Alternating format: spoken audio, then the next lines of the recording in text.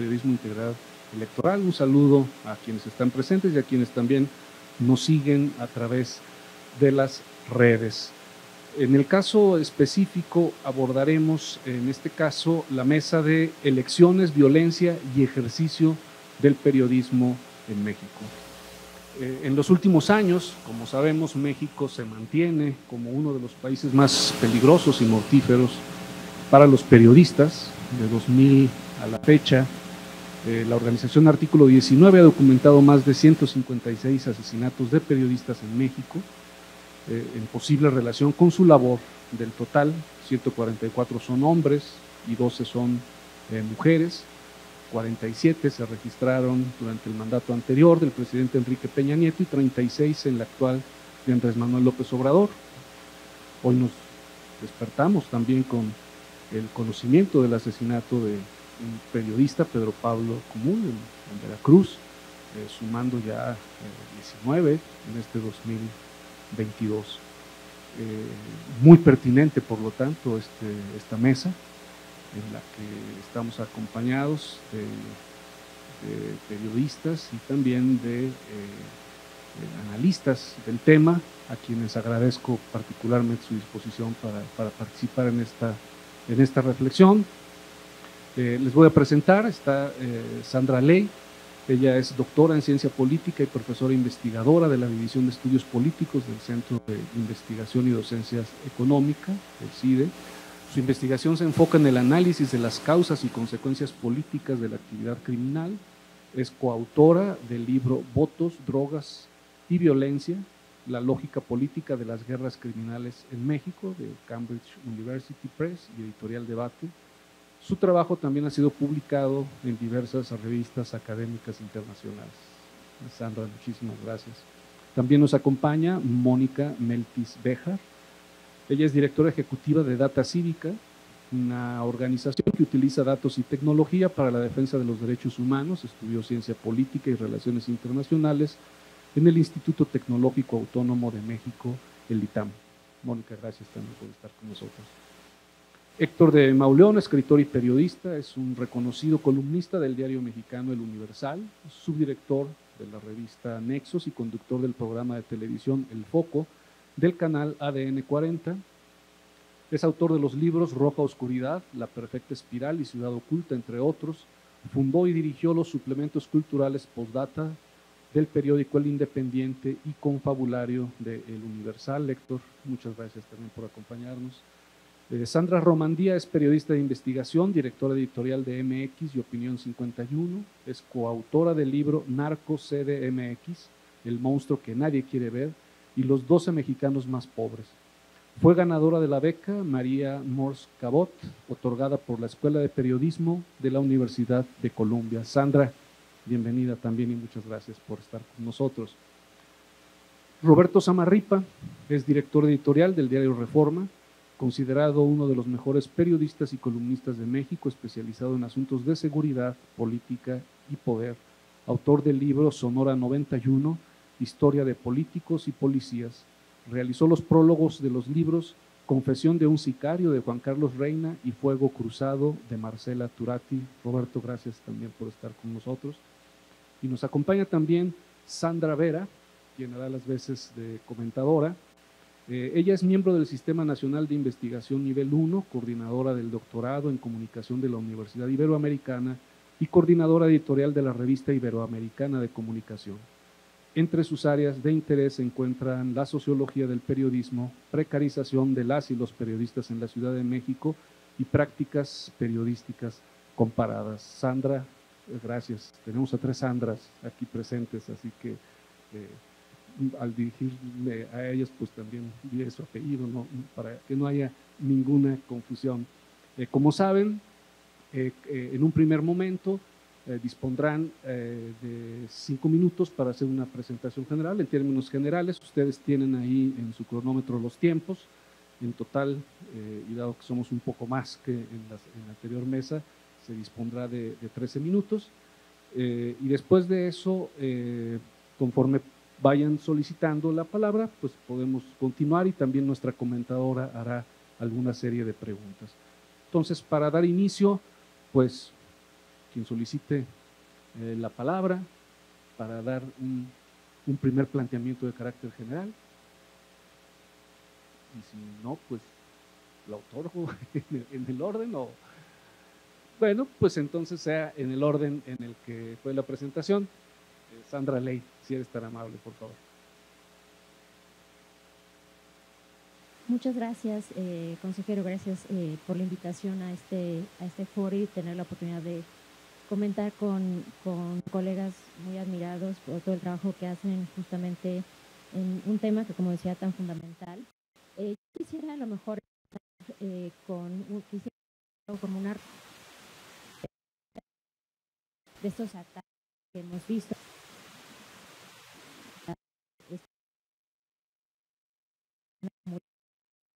en, el país ser no tan peligroso.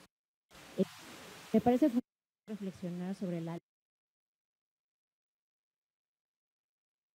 criminal organizados la necesidad que tienen estas protección no para poder operar pero también de información fundamental que requieren para ese y entonces eh, por supuesto que la, el incremento de competencia criminal que hemos visto a lo largo de las últimas dos décadas con un número creciente de organizaciones que están presentes en todo el territorio nacional, compitiendo frente a otras organizaciones, pero también compitiendo frente al Estado. Obviamente esto ha resultado en mayores eh, niveles de violencia, eh, incluyendo ataques que hemos visto a políticos, a activistas, a periodistas. ¿no? Yo quisiera que pudiéramos entender, eh, eh, que pudiéramos empezar a, pensar en todos estos ataques como un conjunto eh, de un proceso más amplio en lo que, como bien, bien y agradezco en la presentación, de un proceso más amplio de lo que he estudiado sobre lo que llamamos gobernanza criminal. Estos controles de facto que establece el crimen organizado en las comunidades en donde eh, busca establecer su influencia, eh, tratando de controlar la política, la economía, la sociedad. Y si bien a lo mejor estos ataques de políticos son los que llegan a llamar mucho la atención, sobre todo en procesos electorales, que es en donde los vemos eh, más presentes, y estoy segura de que mis colegas hablarán más al respecto. Eh, creo que eh, si, si podemos entender justamente estos distintos ataques de alto perfil que ocurren en conjunto con esos ataques que hay a la sociedad civil, no son, no son procesos aislados, son, son eh, eventos que están ocurriendo como parte de un fenómeno más amplio, en donde eh, los grupos criminales también están intentando ejercer estos controles a nivel local.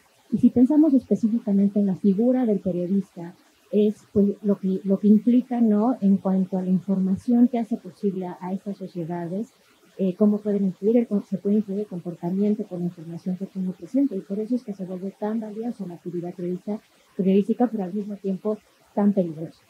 Eh, estos ataques al periodismo, eh, vemos a, los periodistas, hemos visto cómo al mismo tiempo podrían estar impactando ¿no? la misma cobertura que se puede hacer en estos contextos en donde se tiene que proteger ¿no? a sí las personas que ejercen el periodismo. Y a lo mejor a veces eh, tratando de cuidar qué información se da a conocer o no, que si se pueden firmar o no las notas según esa información tan delicada que se puede dar a conocer. Pero me parece que en este proceso es fundamental reconocer que sin ese trabajo periodístico, ¿no? hoy por hoy no podríamos estar realizando un trabajo de rendición de cuentas que resulta fundamental en estos contextos, que sin esa información no podríamos saber justamente lo que está ocurriendo en esta materia cuando en muchas ocasiones todavía si algo falta en este país son datos, datos veraces, mayores, mayores eh, eh, detalles de muchos de estos procesos y esto lo hemos sabido ¿no? en gran medida gracias a un periodismo eh, valiente pero con un alto costo. Entonces simplemente lo dejaría ahí con esta con, con, que reflexionemos de dónde viene toda esta lógica de violencia y la entendamos dentro de un contexto más amplio eh, de lo que está ocurriendo desde hace varias décadas en nuestro país. Gracias. Eh, gracias, eh, Sandra. Mónica, por favor, si eres tan amable.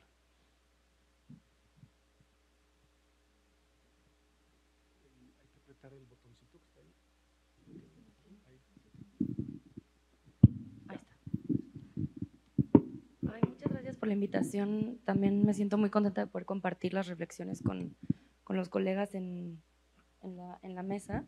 Yo quiero platicarles un poco del el contexto en el cual eh, Data Cívica, que es la organización que dirijo, es invitada a, este, a esta mesa y mucho tiene que ver con una relación que llevamos trabajando con Sandra eh, en un proyecto que se llama Votar entre balas, que les invito también a que consulten.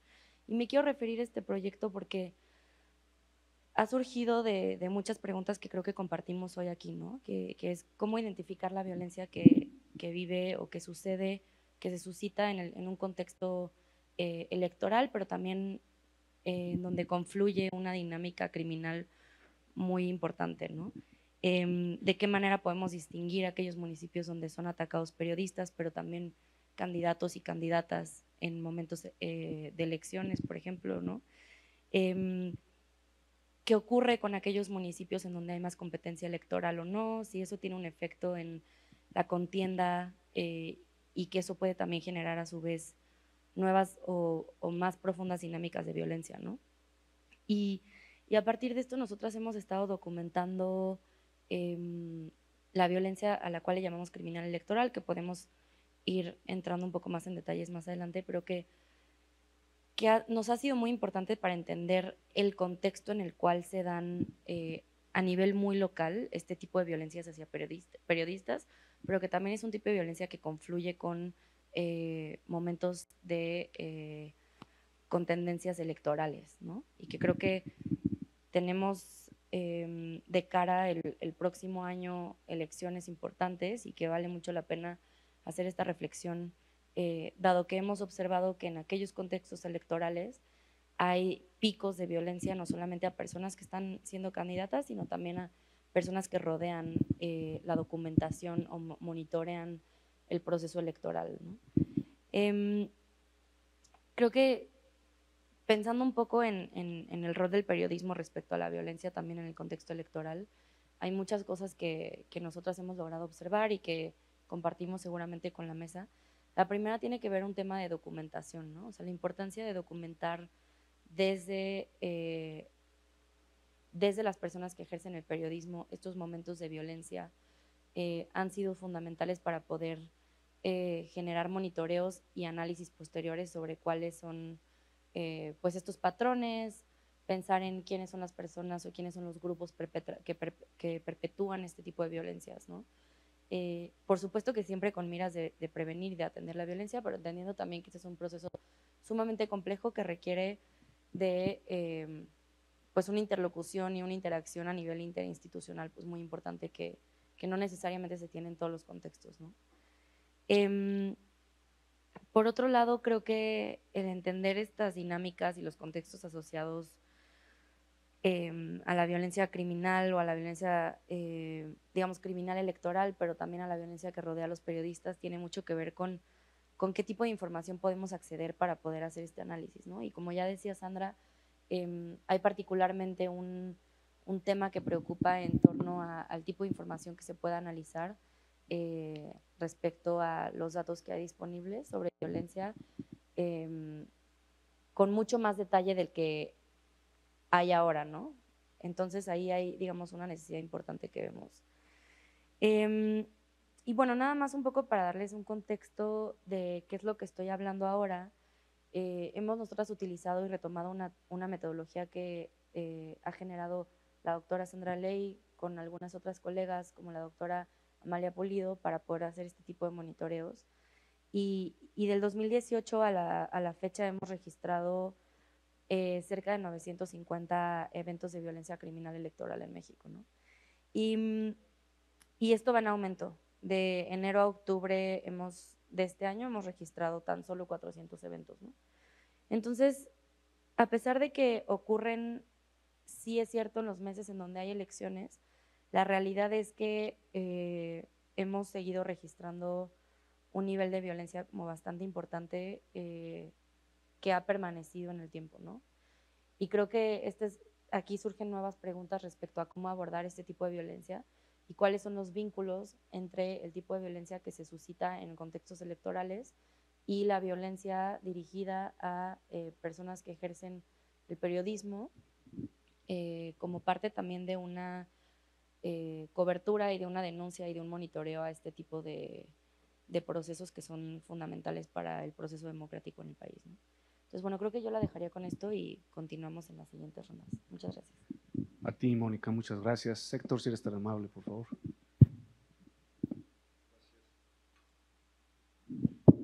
Gracias. Muy buenas tardes. Gracias por la invitación.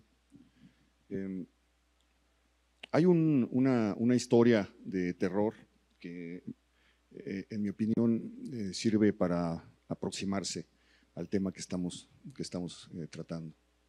Un compañero periodista de un periódico de la frontera, de un periódico del, norte, fue promovido al cargo de jefe de redacción del periódico en el que trabajaba. Él celebró eh, este, esta promoción precisamente pues, porque estaba a punto de casarse, porque significaba una mayor entrada de ingresos y eh, probablemente una mejor calidad de, vida. A los dos días de haber sido nombrado, recibió una llamada a la redacción de una persona que se identificó como parte de la empresa para felicitarlo de parte del patrón y eh, ponerse a sus órdenes para lo que necesitara.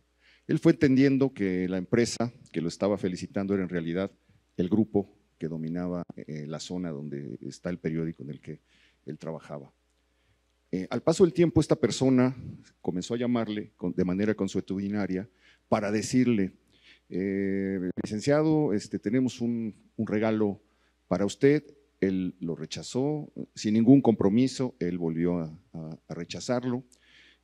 con el paso del tiempo, le llamaron y le dijeron, van a aparecer tres cuerpos en la carretera, queremos que, lo saquen, que le pongan la foto bien colocada en el, en el periódico. Le dijo, yo no puedo garantizarles eso, eh, yo no tengo esa, esa capacidad, colgó como pudo. A la siguiente vez ya no le dijeron licenciado, sino que ya era un lenguaje mucho más agresivo, ya lo tratamos por las buenas, no se pudo, ahora va a ser de este modo. Eh, aparecieron unos cuerpos que no queremos que salgan, que no queremos que los mencionen, y él entendió que era para que el grupo contrario no supiera que eh, quienes estaban en contacto con él habían tenido bajas.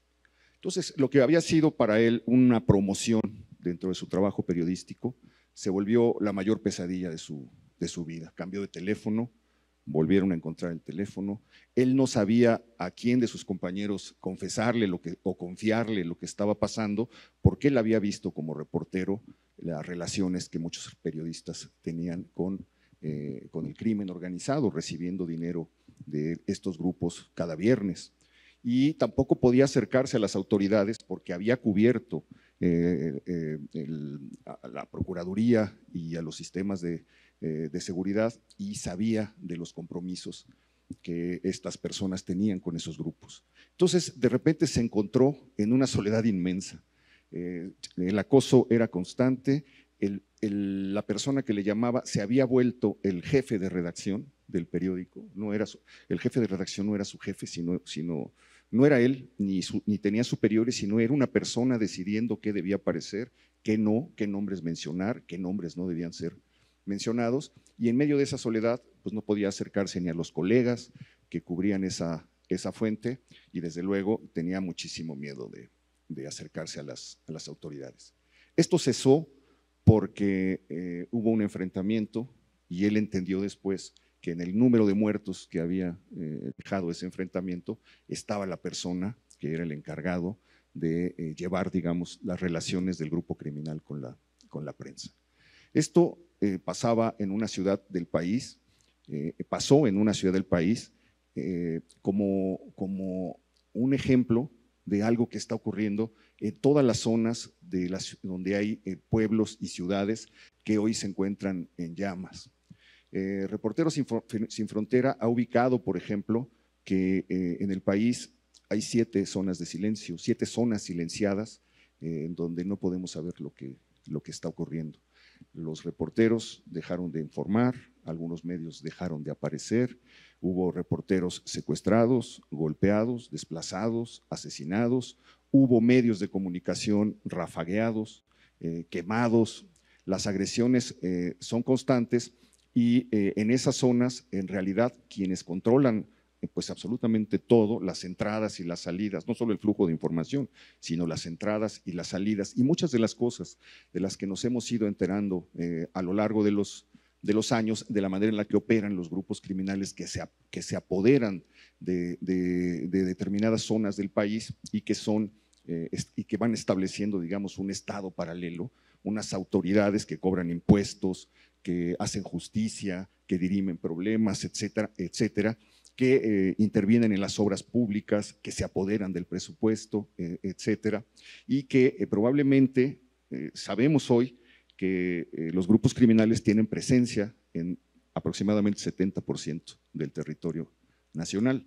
De ese 70%, pues para saber en cuántos municipios, en, en cuántas zonas de Michoacán, por ejemplo, o de Guerrero, o de Sinaloa, o de Tamaulipas, o de Chihuahua, eh, o de Zacatecas, o de Guanajuato, en cuántas zonas, en cuántos municipios la información se ha suspendido, cuántos focos de información se han apagado, cuántas zonas silenciadas hay en el país en medio de, eh, esta expansión eh, brutal que parece no tener, no tener freno ni fin en, en México. En las elecciones de 2021, apareció la intervención del crimen organizado como no se había visto o como yo no recuerdo haberlo visto eh, antes. En, Culiacán, el viernes anterior a las elecciones, un comando de camionetas con hombres armados se dedicó a recoger operadores electorales para que no pudieran estar presentes el día de la votación. Se los llevaron, se llevaron a un centenar de personas en la capital de Sinaloa las metieron en casas de seguridad y no las soltaron, sino hasta una hora antes de que cerraran las casillas, las dejaron en la carretera para que regresaran como, como pudieran.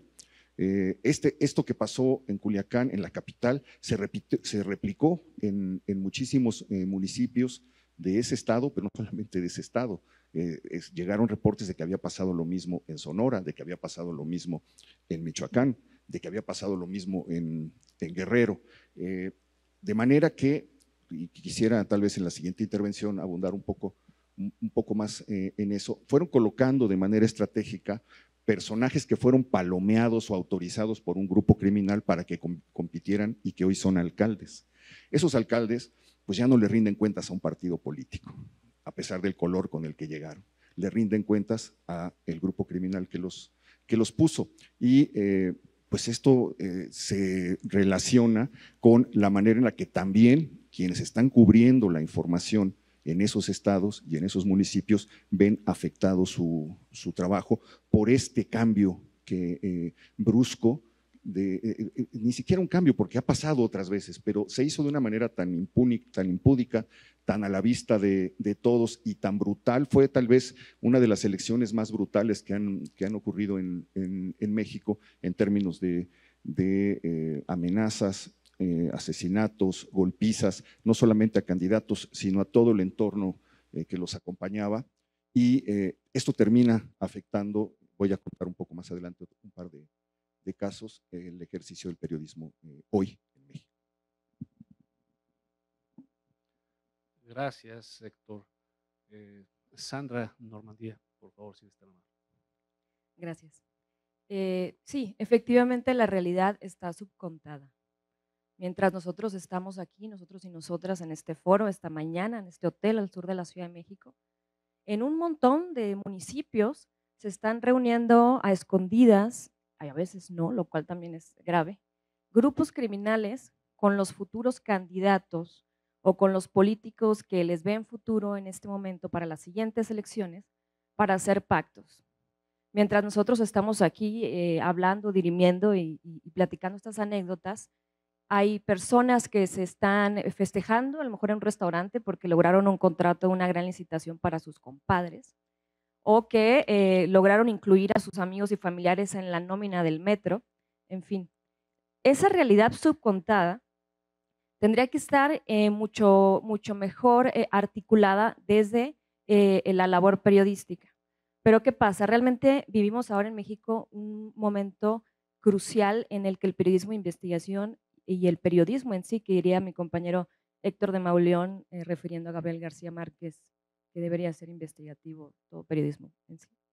amenazado por, por cuatro vertientes que yo les llamo las cuatro patas de la mesa del periodismo.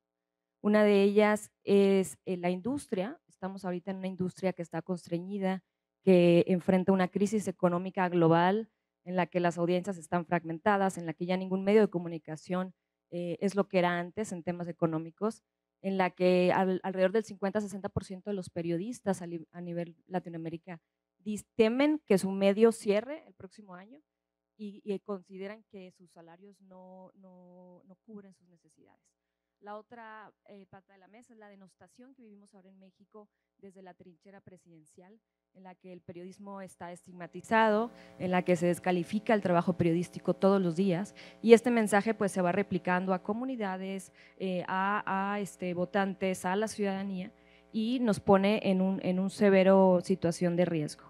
La tercera, diría yo, es el área de, la academia y las universidades. No contamos en estos momentos en, el, gremio con colegios que capaciten, que actualicen, que nos den herramientas. Eh, hay un cierto sentido de retraso.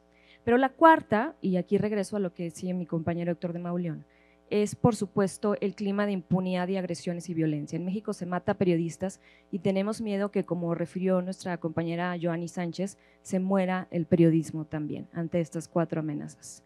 ¿Cómo contar o cómo seguir haciendo periodismo y descubrir estas historias que se vienen en cara a las próximas elecciones en un México en el que cada vez la narcopolítica está más presente? He tenido la fortuna o pesadilla también de coordinar equipos de investigación en, televisión y en, medios, impresos y en medios digitales, siempre enfrentándolos a la disyuntiva de qué es lo que pasa en las pequeñas regiones de nuestro país, que al final ese es nuestro país. Probablemente no es la, la Ciudad de México, nuestro país no es Monterrey, sí lo es en gran parte, pero el gran grosso de nuestro país son todas esas comunidades y municipios que a veces no logramos retratar porque se convierten en zonas de silencio. Eh, recuerdo hace unos 10 años, cuando coordinaba el equipo de reporteros de Denis Merker en Televisa, en un, programa que se llamaba Punto de Partida, eh, un, grupo de empresarios en Michoacán, e incluso el, síndico y, el alcalde, no recuerdo bien, le llamaron a una reportera y le dijeron, queremos que vengan para acá, que era Tumbuscatío, a, a retratar cómo hay una zona en Michoacán donde no hay autodefensas y estamos tranquilos. Hay que recordar que en aquella época pues, varios puntos de Michoacán funcionaban eh, casi con, con, la protección o el movimiento de las autodefensas y queremos platicar cómo vivimos tranquilamente sin, eh, sin ver a los hombres armados, eh, aquí no pasa nada, etc. Antes de decir sí, ok, este, que se haga ese reportaje, pues por supuesto investigamos a ver quiénes eran esos empresarios, el síndico, y, y, y nos dimos cuenta que habían estado en el Senado, que habían hecho eh, varios eh, pronunciamientos públicos y que había a lo mejor que ir a ese lugar a contar cómo era la vida sin las autodefensas. Eh, recordemos que en esa época uno de los capos más buscados era, era eh, Servando la Tuta. Y bueno, al final fue la reportera y, hizo su, crónica de cómo era un lugar sin autodefensas en, en, Michoacán, cómo se estaba viviendo. Y en la noche, cuando se fue a dormir a su hotel, eh, pues un grupo armado fue a buscarla, a ella y al camarógrafo, para eh, llevarla a que entrevistara a la tuta. Eh, la subieron a una camioneta, los dos, y los llevaron a una zona boscosa, bajo todo, por, supuesto, situación de riesgo. Esa entrevista nunca salió al aire. Es, ah, por supuesto que hubo una, una polémica ahí de, de, qué hacer con ese material. El, en condiciones de no equilibradas, pues por supuesto y bajo amenaza que no se iba a publicar esa información, pero nos dimos cuenta cómo ya en, el país estaba revuelto empresarios, políticos locales con el narco, cómo eh, eran capaces de salir a las cámaras a decir aquí estamos, no pasa nada, pero al final le pusieron un cuatro.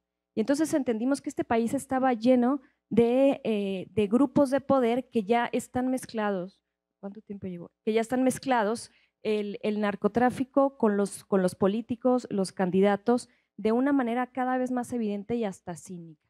Creo que esa es la realidad que tenemos que seguir contando y por supuesto de alguna manera eh, como, como gremio seguir velando por, por, poder tener las garantías para contar esta historia, estas historias que son necesarias para México. Eh, muchas gracias, eh, Sandra. Eh, Roberto, si eres tan amable,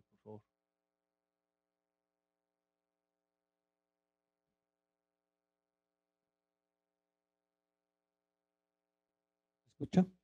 Sí. Gracias, Aline, por la, la invitación.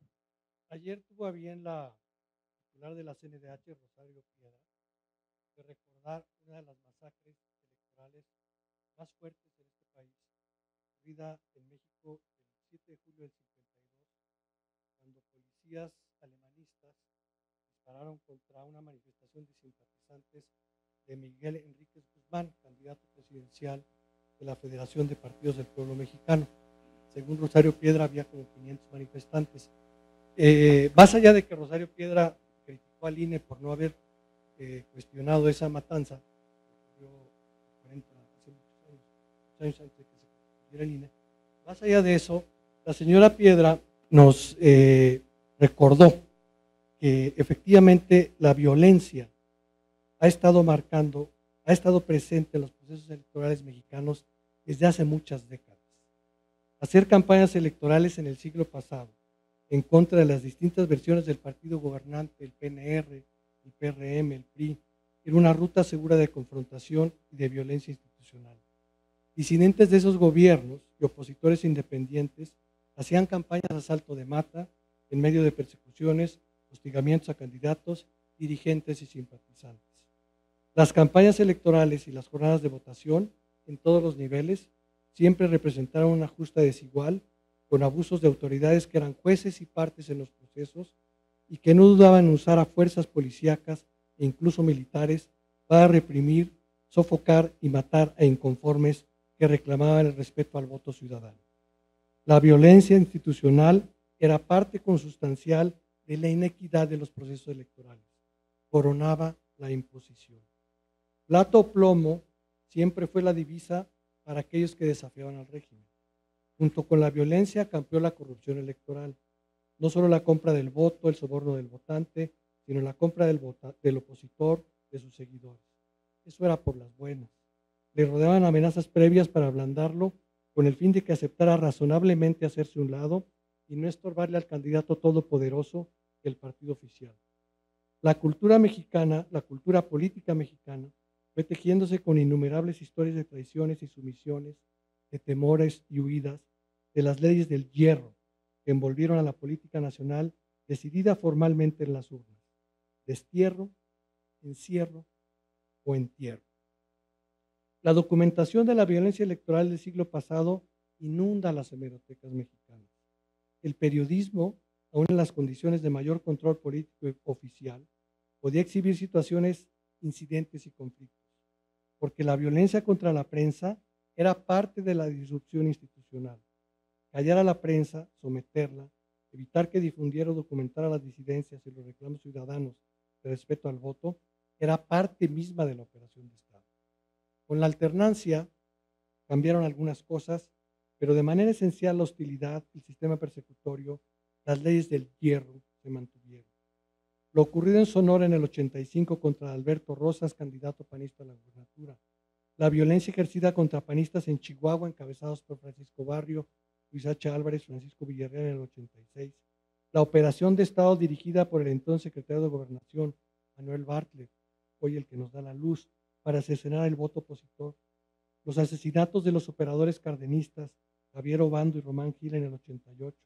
Las elecciones estatales de Guerrero y Michoacán, que debieron en decenas de muertes de opositores periodistas. El asesinato de más de 500 periodistas entre 88 y 94, fundamentalmente por motivos electorales, exhibieron las graves manifestaciones de violencia institucional que dejaban claro el agotamiento del sistema electoral mexicano. El periodismo estuvo entonces en la documentación de distintos abusos de poder e incluso en la documentación de la extensión de pretensiones de violencia entre grupos de oposición. Periodistas de Guerrero y Michoacán tomaron alcaldías a mano armada, con cuernos de chivo y metralleta, en nombre de la defensa del voto en el año del 89 y del 90. La prensa estuvo ahí. Fueron periodistas, a veces antes que militantes opositores, quienes perseguían a mapaches electorales, robaurnas, organizadores de carruseles. Fueron periodistas quienes descubrieron mapacheras, oficinas donde empleados públicos tachaban boletas electorales en favor del PRI y rellenaban las urnas antes de que llegaran a su conteo a las oficinas distritales electorales. Cuando vinieron las reformas electorales sucesivas que coadyuvaron en la ciudadanización de los órganos electorales, fueron los periodistas los que advirtieron las principales deformaciones y abusos en los nuevos institutos. Desde la prensa escrita, se exhibió el control de las concesionarias de televisión de los procesos electorales, del financiamiento en efectivo, oculto e ilegal, de la fabricación de candidaturas en los propios estudios televisivos, de la injerencia indebida en las campañas de actores externos, de la espotización ajena al debate político. La violencia en las elecciones cambió de tono. Aunque permaneció en muchos casos el uso de fuerzas policíacas en favor de un partido, esto empezó a diversificarse. Ya no solo en el PRI. En la medida que la alternancia política colocaba nuevas fuerzas en los gobiernos, esos opositores que triunfaban rápidamente se mimetizaban y adquirían las viejas prácticas. También los periodistas lo denunciaban. El siglo XXI ha traído otro tono. La violencia electoral institucional se ha mezclado y en otros casos incluso ha sido desplazada por la violencia ejercida por el crimen organizado. Hay una cantidad interminada de municipios donde el crimen organizado decide no solo quién vota y cómo vota, sino por quién se vota y por quién no se vota. Los intereses de grupos criminales en las elecciones se esparcen y se especifican. En, es esa violencia, esa violencia criminal, en estos comicios mayor a la violencia que ocurrió en el siglo pasado, la ejecución y eliminación de candidatos que ocurre ahora es mayor que lo que ocurría hace décadas. No recuerdo yo que en esta época que hayan asesinado en seis años a 500 militantes políticos participaban en distintos procesos electorales. La diferencia esencial, creo, es que ahora la violencia criminal ocurre en condiciones de contienda democrática. Antes, la violencia institucional era parte consustancial del sistema de ventaja del partido cuasi único. La impunidad se daba por descontada. Ahora hay más partidos que contienden de una u otra manera en mejores condiciones que antaño. Creo que el INE no ha sido lo suficientemente explícito en exhibir las zonas de dominio del crimen, los territorios irregulares para la política electoral y ha fallado también coordinación con autoridades federales y locales para dar seguimiento a distintos casos de soborno, coacción, injerencia, homicidio en contra de ciudadanos, candidatos y dirigentes políticos. El periodismo tiene hoy la misma tarea que todas las décadas pasadas para escudriñar, advertir, relatar esas incidencias de violencia en la política y las elecciones. La democracia sin periodismo libre no es democracia, como no lo es sin libertad de voto y respeto a su ejercicio. Como responsabilidad ante audiencias, escuchas y lectores, el periodismo debe desentrañar los factores que desencadenan la violencia en los procesos electorales. El periodismo la pasa mal por la violencia que evidentemente se sesga y carga sobre la profesión, porque antes de cobrar la vida de un periodista, cobró la vida de innumerables ciudadanos. Pero el periodismo la pasa muy mal por la infección de las filias, el arrastre emocional de las alineaciones imponen maneras y formas de decir para afectar al contrario. La propaganda no es tarea del periodista, ni para el lado oficial ni para el lado opositor. La violencia es una amenaza, pero la propaganda es una autocensura, una declinación de la obligación profesional del compromiso cívico. Se hace periodismo para informar. El periodismo no vota, vigila, no decide. Gracias, eh, Roberto. Bien, eh, nuestra comentadora eh, seguramente nos dará algunos elementos después de este pues, diagnóstico, creo que han colocado sobre la mesa este estado de la situación. Seguramente en nuestra comentadora podrá hacer algún par de comentarios que nos permitan continuar entonces con una segunda ronda. Por favor, Sandra Vera, si eres tan amable. Claro que sí, muchas gracias, muchas gracias Aline, muchas gracias a ustedes, estoy muy contenta de, poder estar aquí, es, un gran honor. Bueno, pues tras este diagnóstico voy a decir algo que es totalmente contraintuitivo y es que tengo mucha esperanza. Y es que después de escucharlos me, me parece que tenemos muchas cosas en común y las voy a nombrar rápidamente. El primero es el reconocimiento y el aprecio por el trabajo periodístico que en ningún momento se ha puesto en duda como se ha puesto en duda en otros espacios. Otra es la complejidad del contexto, la articulación del espacio político, periodístico y además con una pasada de, grupos de crimen organizado. Y eso todos estamos de acuerdo, al menos todo lo que se ha dicho aquí. Y otra es, eh, es este fenómeno que es la violencia en aumento y que todos lo tomamos como una señal de alarma y como algo urgente, porque efectivamente no es nuevo, pero es urgente. Y efectivamente no es nuevo, pero no es igual. Y, sobre esto me gustaría hacer algunas preguntas, sobre estos acuerdos que me parecen muy esperanzadores, me gustaría hacer unas preguntas y también eh, llevar la alarma sobre las personas, periodistas, y no sobre la profesión. Porque si no hay periodistas, no hay profesión. Y que creo que hace falta, mucha falta, hacerles una apología a quienes se dedican a ello, más que criticar su trabajo constantemente. ¿Quién querría hacer periodismo hoy? Y les una pregunta ingenua, por un sueldo promedio de entre 7 y 10 mil pesos, arriesgando no solo el tiempo, el esfuerzo, la familia, las relaciones, la salud, ¿no? la comida, todo esto, pero la vida, literalmente la vida, por 7 mil pesos. ¿Quién querría hoy arriesgarse a ir a Veracruz a ver qué? ¿no? A Tamaulipas o puedo decir cualquier estado. ¿Quién hace eso? ¿Qué los mueve? Y esa pasión y esos motivos creo que están también subcontados. Porque ese esfuerzo que hacen todas esas personas todas las mañanas es increíble. y lo digo así con la piel chinita. Increíble. ¿quién sin periodistas va a enterarse de lo que pasa? Ahora tal vez nos enteramos mal, corto, rápido, con clics en un párrafo que sigue ¿no? el algoritmo. Algo sabemos. ¿Qué pasaría si lo dejáramos de saber? ¿Cómo podemos garantizar una sociedad informada sin periodistas? ¿Cómo podemos hacer que el periodismo sea otra vez el oficio más bonito del mundo? ¿Nos toca a nosotros?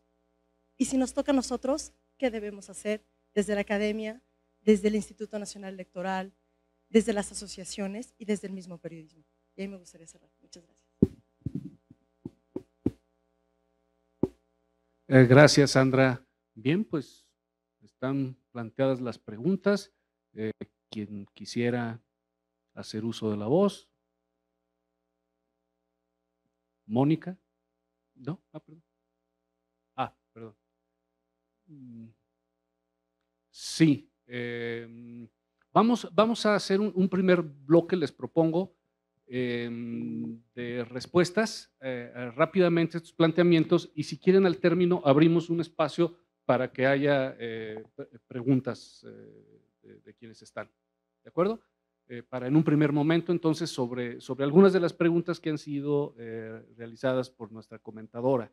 Entonces me han pedido Sandra Ley y Sandra Normandía el uso de la voz. Eh, ahí están sus tiempos, recuerden ahí en la, en la pantalla. Entonces, eh, Sandra Normandía, por favor. Gracias. Oye, pues, eh, qué preguntas, ¿no? ¿Qué hacer o cómo hacerle? Yo creo que es la pregunta con la que nos levantamos los periodistas todas las mañanas. Y gracias por pensar en esos, en esos periodistas y en esos reporteros que realmente echan su alma por 10 mil pesos al mes, que, que salen sobre todo en, en, las ciudades de los estados a enfrentar que si lo que están investigando, la persona señalada resulta que a lo mejor es prima de sus primos o que eh, todos los políticos saben dónde viven sus mamás, sus hijos, su familia, y que a pesar de eso siguen haciendo periodismo. La verdad es, es, es, es admirable y creo que son los, eh, lo hemos dicho antes, los grandes héroes del periodismo en cierto sentido en este país. Pero sí creo que, que desde la sociedad eh, apoyar y consumir un mejor periodismo, que los sectores de este país que tienen la capacidad de pagar por un buen periodismo, están conscientes, sean conscientes que el buen periodismo cuesta, que el periodismo vale, y que el periodista eh, o, la empresa periodística que no depende del gobierno y que tampoco está en quiebra pagando eh, unos centavos a sus, a sus trabajadores, va a ser un periodismo de mayor calidad, mayor rigor, más apegado a los hechos y por supuesto con mayor ética. Creo que como sociedad tenemos que difundir este mensaje de que estamos en otro momento y aquí se cruzan un montón de temas, porque sí se cruza la crisis en la industria y esa crisis provoca que los reporteros ganen menos y también provoca que no se puedan cuidar, entonces no se pueden ir ni en un taxi o tener un auto para hacer su reporteo porque tienen que estar caminando en la noche y entonces son más vulnerables. Entonces hace una cadena en la que, en la que los periodistas eh, quedan absolutamente vulnerables. Entre otras cosas, por supuesto, que tiene que ver que acabe la impunidad en este país, que es la principal razón, diría yo, por la que, por la que ocurren estos asesinatos y agresiones a periodistas cada 12 horas.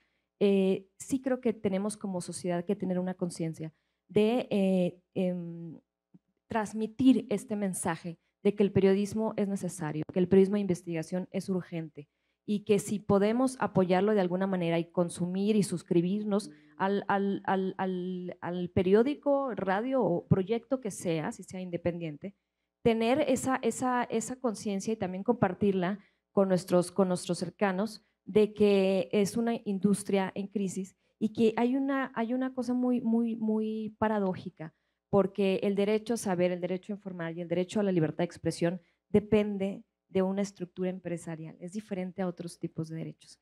Entonces, esta conciencia creo que tiene que irse despertando y tiene que irse transmitiendo este mensaje para que cada vez tengamos un periodismo más valioso, eh, más valorado también por las audiencias y por supuesto que tenga soporte de la ciudadanía.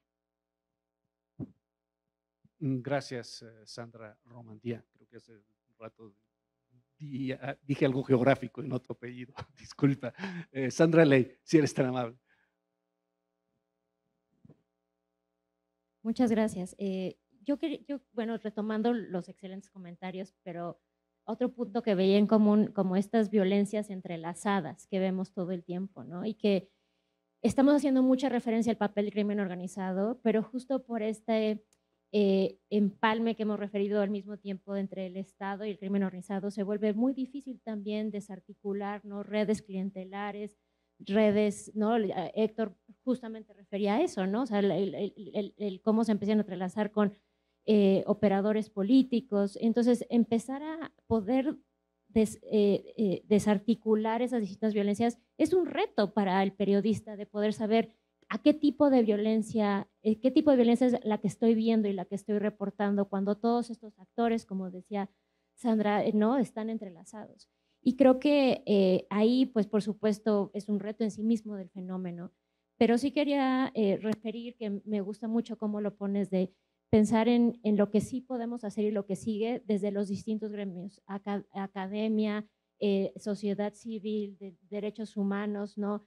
periodismo, de poder trabajar juntos en esa agenda que sigue, nos sigue quedando pendientes y que es necesario que desarrollemos desde estos distintos ámbitos.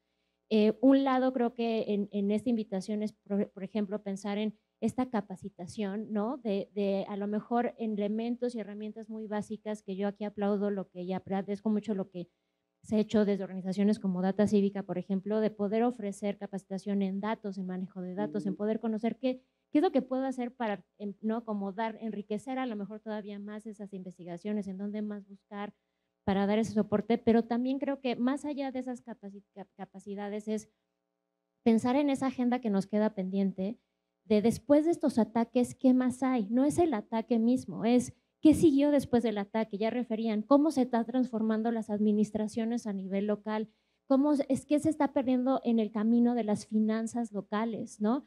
Eh, ¿Cómo están cambiando los perfiles de los candidatos? Y aquí entro en donde no solamente la alianza es entre estos gremios, sino con el INE mismo, ¿no? De también pensar, tenemos evidencia de que en Colombia, en India, la violencia ha transformado los perfiles de las personas en las candidaturas, de que ha cambiado los niveles educativos, de que han cambiado los antecedentes y, bagajes que tienen todos estos, estos candidatos.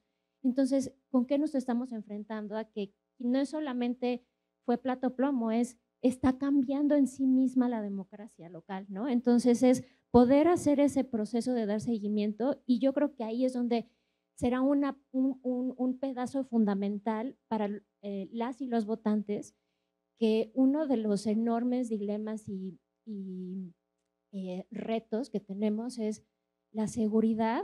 Una y otra vez cuando hacemos estudios sobre el voto, la seguridad no es un elemento que define en muchas ocasiones el voto porque no tenemos, no es ni siquiera un tema que se vuelva fundamental en las campañas, pese a todo lo que acabamos, acabamos de escribir o de describir, o justamente por todo lo que acabamos de describir, ¿no? Porque a nadie le conviene hacer propuestas concretas, ¿no? Eh, y porque lo que se ha vuelto muy popular es el punitivismo, porque el votante lo que, lo que, eh, lo que exige, ¿no? Es justicia y quiero castigo, cuando en realidad no tenemos claridad de que eso es lo que, esté, lo que, lo que vaya a tener una mejoría. Y creo que ahí también queda desde nuestros distintos ámbitos pero en un momento, ¿no? En el momento de las elecciones, desde el periodismo también poder, ¿no? Como eh, alumbrar quién sí está dando una, qué tipo de propuestas están allá afuera, porque a veces ni siquiera podemos, el votante pues justamente lo que no puede es poder identificar que haya una diferencia sustantiva entre todas estas ofertas por esta merma que hay a nivel local. Entonces yo creo que ahí hay muchas, muchas tareas que podemos compartir desde distintas perspectivas para acompañar y afianzar el periodismo, que estoy de acuerdo. Se trata sobre pensar en cómo, con todas las limitaciones que puede haber, con todos los retos que hay en ese ejercicio, creo que poder pensar en cómo podemos enriquecernos desde nuestras distintas plataformas y, en ello creo que podemos encontrar buenos, buenas ah, iniciativas en, en este diálogo que creo eh, eh, resueno en que no queda solamente de un solo lado, es un trabajo que tiene que ser en conjunto de tareas que todavía nos quedan pendientes eh, para pensar en lo que pasa en, en, las comunidades con estos distintos ataques, niveles y formas de control social, económico y político que, insisto, no son aislados. Y ojalá podamos empezar a articular más todos estos ataques. Em, referían, ¿no? Es, si bien los hemos visto con mayor eh, presencia en el último proceso electoral, como describía en el, en el 2021, efectivamente los hemos visto con mayor contundencia conforme todos estos procesos electorales se han vuelto concurrentes y tenemos cientos de procesos ocurriendo al mismo tiempo. Pero lamentablemente este es un estos son procesos que hemos visto desde el 2006 que empezamos a ver estos ataques a, a autoridades de alto perfil a nivel local ¿no? El 80% de estos ataques suelen ser a autoridades y candidatos eh, a nivel municipal. Y no debería sorprendernos entonces que esto, esto nos ocurra 2021, 2024, ¿no? Lo que viene eh, después. Mejor deberíamos empezar a pensar entonces qué es lo que con esos antecedentes que ya tenemos y con datos que ya estamos empezando a acumular al respecto, poder pensar mejor justamente en esas estrategias de cobertura, de seguimiento, de rendición de cuentas. Eh, gracias, Sandra. No sé si alguno más de, nuestros panelistas quisieran dar respuesta. Eh, Mónica y luego Héctor. Y luego, eh, igual si alguien más, y si no, como les decía, abrimos el espacio para preguntas del público. Hola.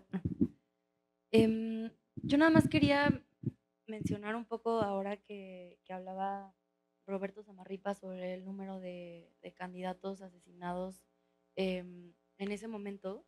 Creo que sí es cierto que no hemos tenido tal cantidad concentrada en un solo momento electoral, pero para contarles que de lo que nosotros hemos documentado de 2018 a la fecha, ha habido 534 asesinatos de candidatas y candidatos eh, a nivel local. Entonces, sí es cierto que esta es una historia, digamos, es un contexto que viene construyéndose desde hace mucho tiempo, ¿no? en el cual por supuesto que los periodistas han sido fundamentales para poder tener este tipo de información.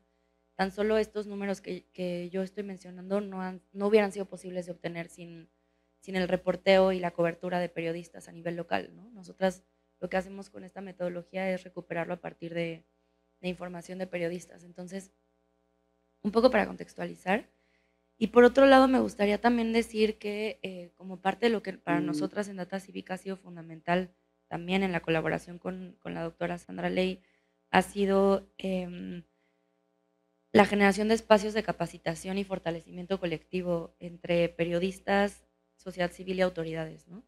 Em, no solamente en donde hablemos de, de, temas de seguridad, porque siempre el tema de seguridad es ya lo mencionaba también eh, Sandra y, las demás personas en la mesa, pues digamos, hay siempre hay un abordaje al tema de seguridad de periodistas desde, un, desde una responsabilidad o desde, una desde que se tiene que asumir como una responsabilidad individual de la persona periodista, ¿no? Entonces, muchas capacitaciones se dan dirigidas a herramientas, digamos, como de autodefensa o de protección individual de seguridad, em, que por, por supuesto que tienen que seguir existiendo, pero también pensar en qué otras cosas y cómo hablamos de seguridad colectiva y cómo hablamos de crear eh, cancha para que la propia sociedad sea quien pueda proteger el trabajo de las personas que, de las personas periodistas, ¿no? Entonces, bueno, esta parte de capacitación para nosotros ha sido súper importante, eh, poder crear espacios en donde podamos hablar de mejoras en investigación, pero también, además de la capacitación, creo que hay una oportunidad enorme para hablar de alianzas, ¿no? Y, y pensar en que una sola persona periodista, o más bien, las investigaciones más valiosas difícilmente provienen de una sola persona, ¿no? Entonces, también, digo, lo menciono porque creo que desde Data Cívica tenemos mucha, eh, mucho interés de poder generar este tipo de colaboraciones, entonces, em, digamos, haciendo ese ofrecimiento también, ¿no?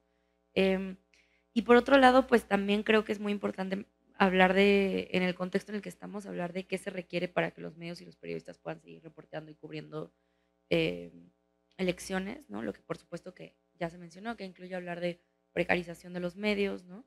Eh, y también, y también en, en, las capacidades que tienen las autoridades para monitorear, más allá de depender del el trabajo periodista, periodístico, monitorear este tipo de eventos eh, violentos durante las elecciones. ¿no?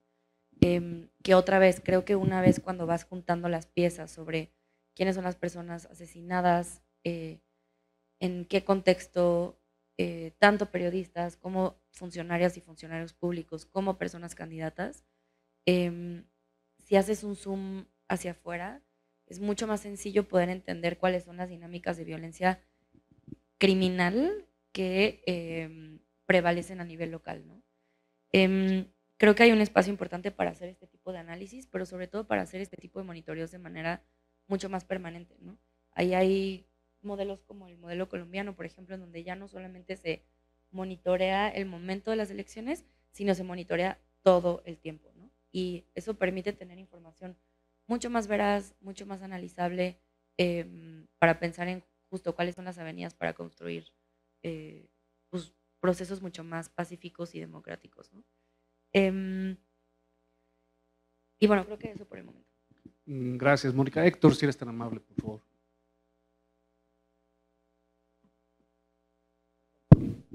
Gracias. Este, otra historia que tiene eh, eh, relación con lo que planteaba eh, Sandra. Es, se acercan las elecciones de 2021 en Valle de Bravo. Hay una candidata que es famosa porque es una velocista olímpica que se postula, Sudikey Rodríguez, para la alcaldía de Valle de Bravo. Va arriba en las encuestas y un día al acabar un mitin llega una camioneta por ella, la suben y se la llevan. La llevan a una brecha donde la está esperando el jefe de la familia michoacana para decirle que eh, la empresa ha tomado otra decisión y que esa decisión no la favorece, que no la va a matar, pero que le pide que se baje de la campaña. Lo que hace la candidata es efectivamente cerrar su agenda, cerrar su casa de campaña, encerrarse en su casa y eh, no volver a aparecer. La candidata rival es la que se queda con la presidencia, es la que estaba palomeada por la familia michoacana, se queda con la presidencia, hoy la está ejerciendo. Y un año después, bueno, y esta historia solamente la sabemos por el periodismo, la sabemos por el periodismo. Eh, pasa un año, poco más de un año, y eh, si ustedes preguntan en Valle de Bravo, en los comercios, lo que está pasando, se van a dar cuenta de que pasó algo verdaderamente atroz. Les cobran piso, les cobran un impuesto a la señora que vende las papas abritas y las cocas por cada una de bolsita y por cada lata le tiene que pagar un porcentaje al grupo criminal. Los que eh, venden, los que compran materiales para la construcción que tienen tiendas, nada más le pueden comprar a una sola persona, a un proveedor que les puso el grupo criminal los hoteleros, los que rentan las lanchas, este, todo lo que tiene que ver con la actividad turística de, Valle de Bravo, cada uno de esos personajes tiene que pagar una, cuota. Y esto también lo sabemos, lo sabemos por el periodismo.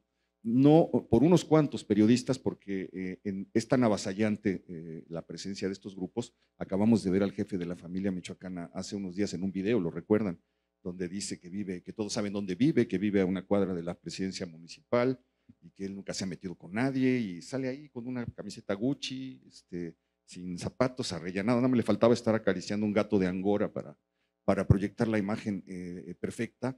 Y bueno, en medio de eso, pues hubo quien se atrevió o quien se ha atrevido a contar y a revelar lo que está ocurriendo hoy en ese, en ese lugar.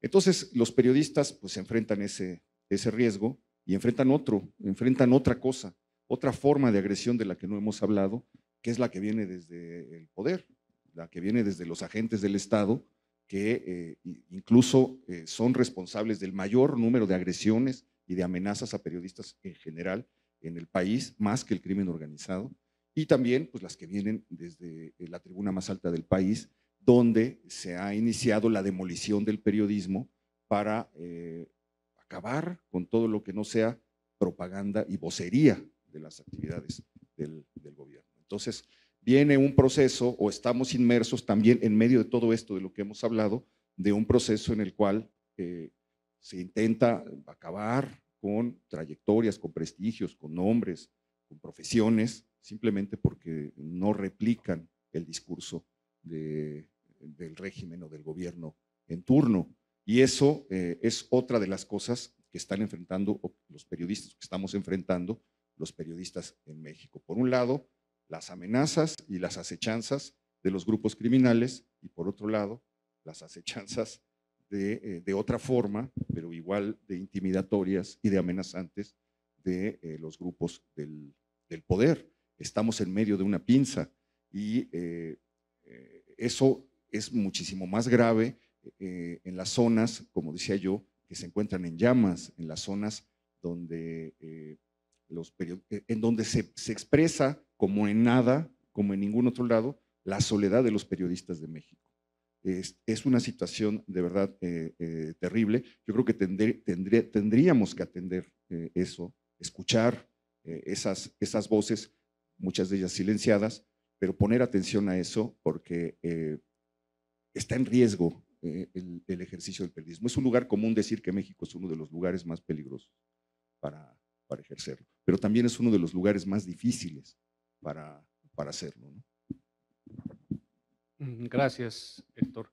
Si no hubiera alguien más del panel, podríamos entonces abrir, ¿les parece un, espacio para preguntas? Hacemos un bloquecito de varias de ellas eh, para aprovechar algo de los tiempos que aún les quedan. Entonces, eh, bueno, si se puede.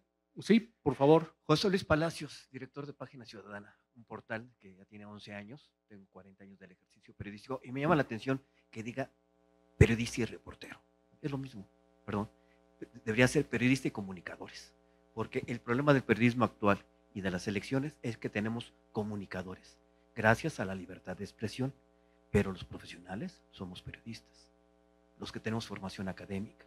Ese es el gran problema de las elecciones, que ya todos son comunicadores y se sienten periodistas. Este, realmente el gran problema, y lo decía aquí Samarripa, nunca todos los periodistas que han asesinado o comunicadores, porque hay que diferenciarlos, porque hay mm, creo que comunicadores que tienen portales y fueron ejecutados por el crimen organizado. Todo ese ah, tiene un, factor común, denominador común. Todos los periodistas asesinados cubrían la fuente policíaca, porque el único periodista político asesinado fue Manuel Buendía, si no me equivoco. ¿O hay otro? ¿Hay otras fuentes? Y la academia y las empresas quedan a deber al periodismo. Los periodistas no estudian ¿no? Llegan a la licenciatura, la dejan trunca, ya no siguen, ya no siguen la investigación. Hasta hace poco la Carlos Septién creó la maestría del periodismo político, pero hay el doctorado, hay reconocimiento de la profesión en la Ley Federal del Trabajo, tenemos salarios mínimos, como de albañil, como formadores, pero como profesionales no, porque no es una ciencia el periodismo. Hay mucho tema aquí de cortar, pero sí efectivamente, y me llama la atención que le pongan el nombre de gobernanza delincuencial. Ya es una forma de gobierno, donde el delincuente exige cuentas al gobierno para que le dé servicios y el gobierno le da servicios, como el caso que vimos con el negro Montes, Rodolfo Montes. que acusó al cártel Jalisco de Nueva Generación de amenazarlo y el presidente dijo, no creo que ellos sean, y no salió el, líder del cártel diciendo que él no había amenazado a Rodolfo Montes, hay una relación muy sospechosa ahí. Gracias. Gracias a usted. Eh, por favor, eh, vamos a continuar de allá, de allá hacia acá. Vamos, no se apuren. Este, eh, por favor, las preguntas, por favor. Recuerden, andamos cortos de tiempo. Si pueden ser precisas, se les agradecerá. Sí, rápido. Nada más, retomando lo de Sandra, yo creo que voy a hacer rápidamente un comentario sin mencionar nombres, porque creo que estoy como Sandra, de que sí tiene que haber esperanza para hacer todo esto en conjunto. Pero bueno, yo creo que sí tenemos que ver, y sobre todo aquí que hay gente que pues es opinador muy reconocido, de ver la cuestión de las empresas, esto que decía de los 7 mil pesos. Los jóvenes ahorita de verdad están en una situación muy, muy precaria. Eh, también la gente de los estados, y a veces no se les da esa parte económica teniendo empresas tan poderosas que un director gana un millón de pesos eh, mensuales, mientras ellos ganan alrededor de 50 pesos por nota. Entonces creo que tenemos que ir rehaciendo este, esta cuestión para ser más equitativo eh, los medios, porque si no, esa violencia que se está ejerciendo sobre todo hacia los jóvenes y hacia los corresponsales, que son los que cuentan las historias y que también tenemos que quitar esta parte de ser héroes, yo creo que no tenemos que ser héroes, el periodismo ya no tiene que vivir de heroísmos, ya Kapuczynski quedó muy atrás en este sentido, sino cómo vamos a hacer todos conjuntamente este, este esfuerzo y poder eh, resolver el problema que tenemos tan fuerte, sobre todo empresarial, eh, como de repente un director eh, dice en pandemia a sus empleados que les va a reducir el salario a la mitad y de repente se va a hacer una cobertura a las Bahamas entonces estas cuestiones no las seguimos entendiendo, no seguimos entendiendo por qué el dinero es tan injusto. Un opinador puede ganar 70 eh, mil pesos en un periódico, mientras de nuevo los redactores ganan entre 5 mil, 4 mil pesos. Entonces creo que sí se tiene que seguir haciendo esto. Los invito también a que vayan con sus compañeros corresponsales un día a quedarse en las corresponsalías en sus casas, los pueden invitar los corresponsales para que vivan sus vidas, para que también este periodismo esté desde abajo y vayamos en conjunto rompiendo estos esquemas, porque estas violencias que se han hecho más plausibles ahora es lo que también ha hecho que asesinen a muchos periodistas y que los jóvenes no tengan ahorita un futuro y estén muy marginados en este periodismo. Gracias. A, usted, eh, había alguien más allá, eh, de ese lado, y ahorita pasamos, pasamos para acá, eh, de estos dos. Gracias, gracias, buenas tardes a, todos. Bueno, considero que el periodista siempre ha sido incómodo para el poder y ahora, bueno, pues para el narcotráfico más, o sea, es doble. Pero antes la Secretaría de Gobernación hablaba a tu redacción y te decía, cámbiame este cuate y creo que por ahí hasta ahí, ahí terminaba el asunto. Pero ahora, ¿a quién recurrir por la historia que comentas, eh, de Mauleón? Si este jefe de información se vio involucrado y no puede ir a la Secretaría de Gobernación a que le preste atención, ¿qué hacer?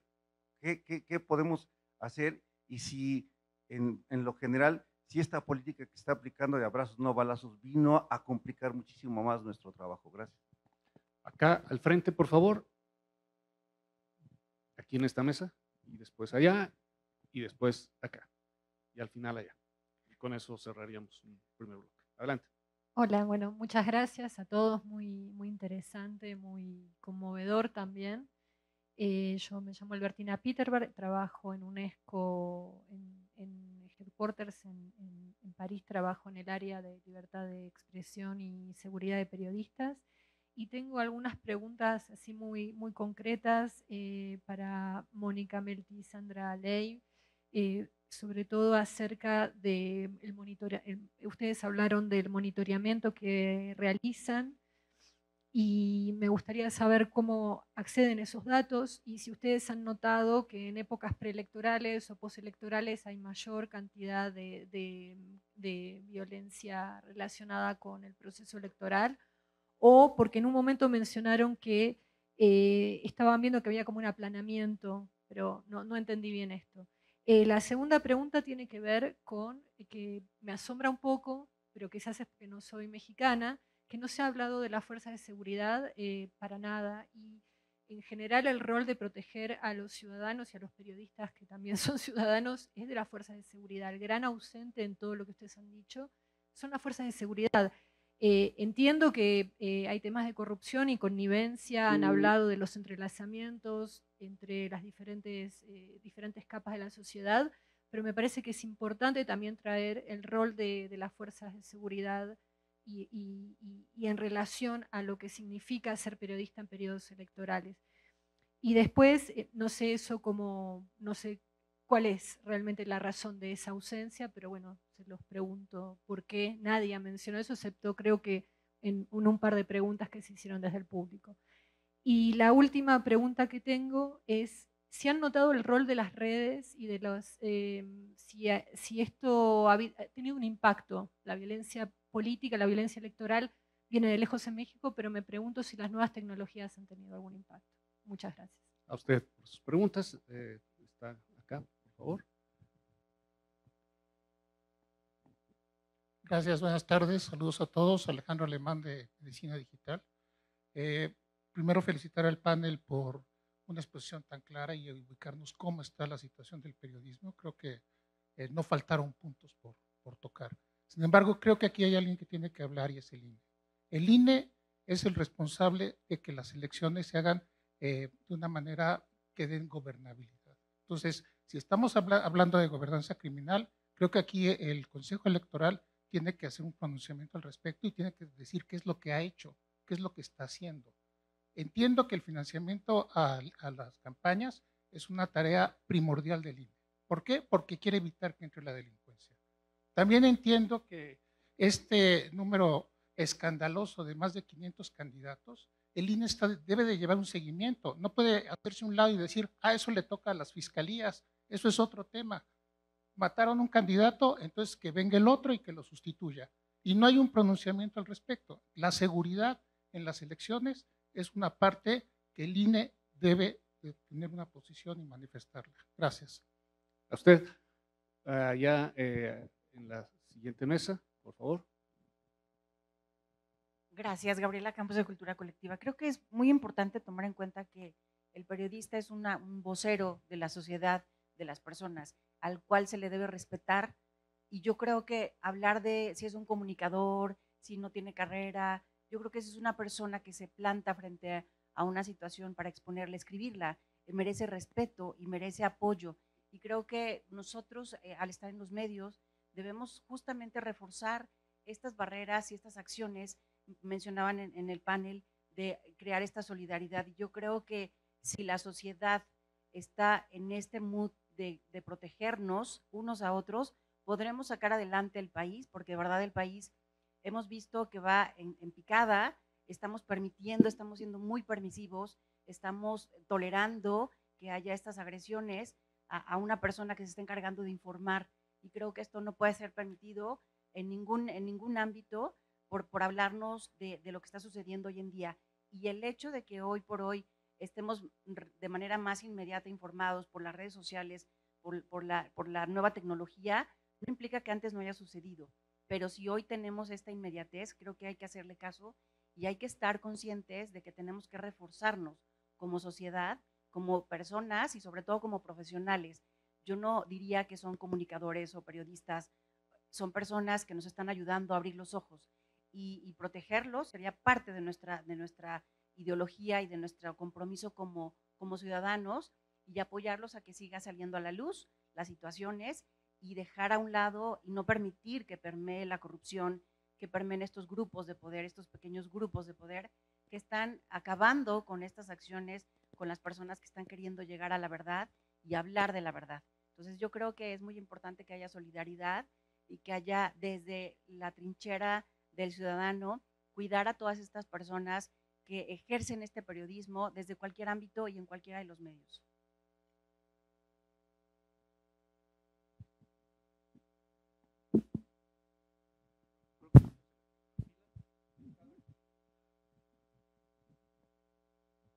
Sí, básicamente es en el mismo sentido que la doctora Peter Barr. Entonces, eh, por lo que se acaba de describir aquí en este momento, indica que es muy probable que las, eh, el crimen organizado tome por asalto las, las, elecciones. Eso va a ser muy complejo para los periodistas. eso los convierte en, en una posición de alto riesgo. Yo no sé cómo le van a hacer, porque yo creo que cada vez más las elecciones se pueden tratar no de qué partido gana, sino qué grupo criminal es el que domina en los distintos espacios del país.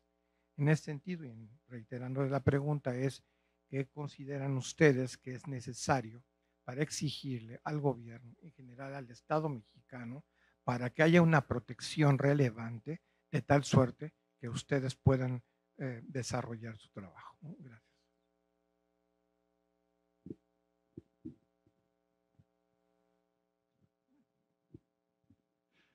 Eh, gracias.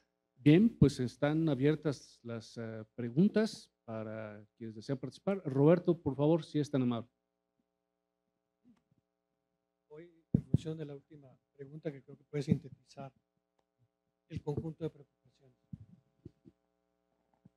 Ahorita que Héctor describía el tema de la candidata de Valle de Bravo eh, en la zona de Tierra Caliente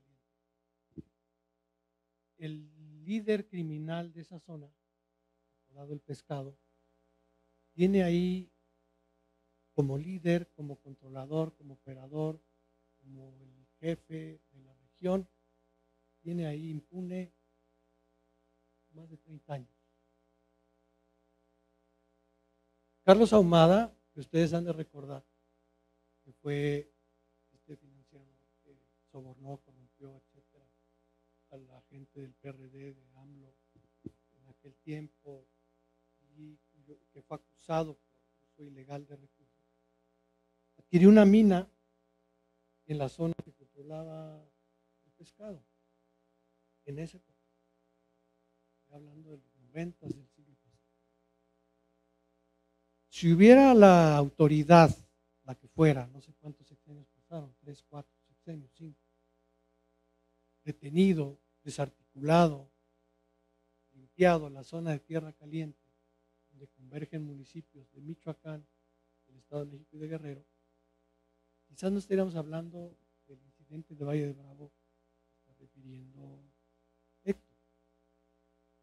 Es decir, estas situaciones tienen una raíz, no le toca podar a los periodistas, le toca exhibir a los periodistas y decir, pasa esto y esto y aquello.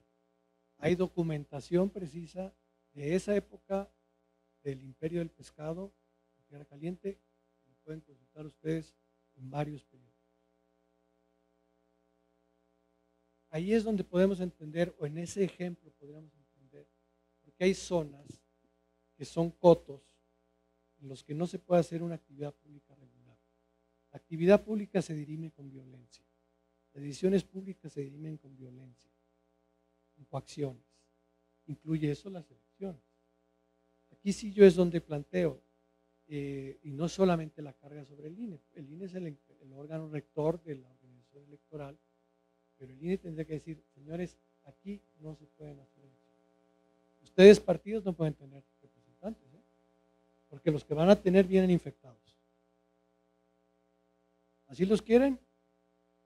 pero de cara al país. Eso no se hace, no lo hacen los partidos por complicidad.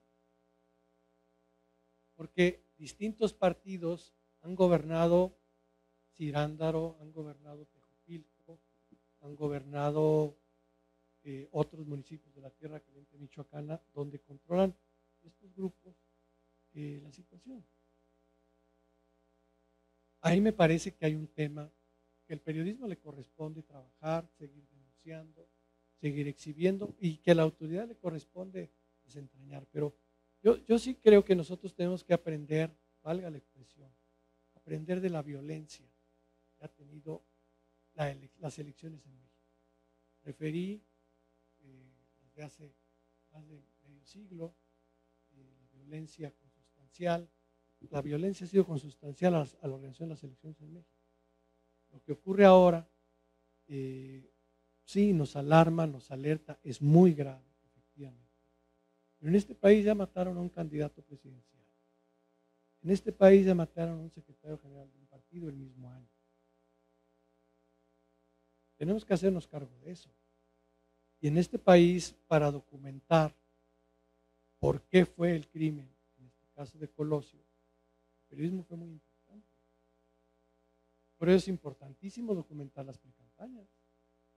Por eso es importantísimo hacer radiografías de las precampañas electorales, de los personajes que están alrededor y que impulsan a las candidatas y candidatos que hoy se placean violando la ley electoral en el país. En esa medida el periodismo hará su colaboración, no le toca resolver esas cosas. Le toca evidentemente a la autoridad y a los partidos. Pero en la medida en que se ciudadanice más el proceso electoral, es decir, que hay un mayor escrutinio ciudadano de los procesos en todos los sentidos, en todos los periodos, en todos los lapsos, creo que en esa medida también se atacará la impunidad que pueda haber alrededor de estas cosas. lo que decía Mónica sobre el esfuerzo que hace Data Cívica me parece muy importante. Muy importante como apoyo para la difusión. un periodista puede recurrir, tomar nota, eh, hacerlo, documentarlo. Ese tipo de esfuerzos, ese tipo de sumas son las que son necesarias en los procesos electorales. Pero el, otro tema tiene que ver con entender, desde mi punto de vista, que los periodistas son, cuando hay un asesinato de un periodista, es porque hubo varios crímenes previamente sobre ciudadanas y ciudadanos. El periodista no diré que es un privilegiado, pero al menos tiene la posibilidad de difundir y decir cosas antes que otros. Aquí el tema es cuando ya hay un ataque a un periodista, es porque la zona, el lugar, la región, el país ha tenido una inmensidad de ataques sobre la ciudadanía. Y eso es lo que debe preocupar al periodista. Efectivamente, combate la impunidad, efectivamente la democracia, efectivamente la participación ciudadana y el escrutinio ciudadano Eso me parece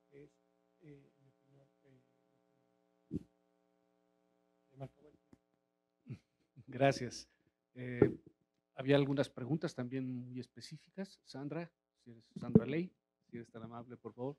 Sí, eh, agradezco mucho las referencias, este, este concepto que refería sobre la gobernanza criminal, nada más para aclarar, es un, es un concepto teórico bastante complejo que no cabe en 15 minutos, por supuesto, para poder desmenuzar, pero creo que nos ayuda a capturar mucho de lo que estamos hablando, en donde justamente no hay rendición de cuentas porque tiene este componente no profundo, o sea, quienes, quienes establecen esos, esos controles de facto sobre el mercado, ¿no? De, de renta, de las papitas, de eh, cómo votar y por quién votar, si salir a votar o no, eh, quién puede ser candidato o no puede ser candidato, son controles de facto, ¿no? O sea, justamente son estos, estos controles informales y que incluso en los contextos, por ejemplo, una de las cosas que llamó la atención durante el encierro, ¿no? Por la pandemia es grupos criminales están, están proviendo ¿no? Eh, despensas y demás. No debería sorprendernos que eso debería estar pasando cuando tenemos este cúmulo de periodistas y activistas de derechos humanos, eh, eh, candidatos autoridades que han sido asesinados y amenazados. Uno ve la, geografía de donde se distribuyeron despensas, es la misma geografía en donde vemos todos esos ataques. Porque incluso en esos lugares en donde se proveen bienes y servicios que no son públicos, no son públicos porque dependen de que yo me haya comportado de acuerdo a cómo, cómo se está estableciendo esos controles. Entonces, por eso es esa invitación a pensar no en términos de rendición de cuentas en, estos, en, este, en esta gobernanza no gobierno, sino en términos de los controles de facto que se establecen. Al mismo tiempo, decir, eh, en esta invitación que hace Roberto de pensemos en términos generales de la violencia, no en un ataque, analicemos todo ese contexto junto con los otros ataques y, actores sociales, políticos y económicos que son atacados, fue justamente esta invitación de, de hacer esta reflexión desde Data Cívica eh, que les invitamos a verlo en Votar entre balas de Data Cívica en los buscadores que, que, que, que gusten, con toda la eh, desmenuzar toda la metodología que se realiza, pero básicamente es a partir de reportes de periodistas ¿no? en todo el país y lo que se hace es verificar cada evento con varias fuentes para estar seguros de que tenemos la mayor información posible. Y efectivamente este, esto de los picos en años electorales es algo que vemos desde el 2006, que eh, ha sido un estudio que de ahí parte, y claro, lo que ha pasado en los años más recientes es que, como decía, los las elecciones ahora son ¿no? concurrentes tras reformas electorales y entonces hoy tenemos muchísimos más procesos electorales que se han, nos han acumulado en los últimos años. ¿no? Entonces, por eso vemos esos picos, pero después de ese pico, se permanecen estos eventos de violencia contra autores políticos, ¿no? O sea, no es que pasó la elección y deja de ocurrir, no, está presente, porque esos controles siguen estando, porque después es la administración pública, porque después es tratar de poder incidir en el resto de los procesos locales, ¿no? Entonces, eh, esa, es, la complejidad hoy por hoy de este fenómeno y que, de nuevo, eh, sin ese trabajo de periodistas, este proyecto de Data Cívica no sería posible. Y por ello las agradecemos desde lo más profundo. Gracias, Sandra Ley. ¿Alguien más? Eh, Mónica.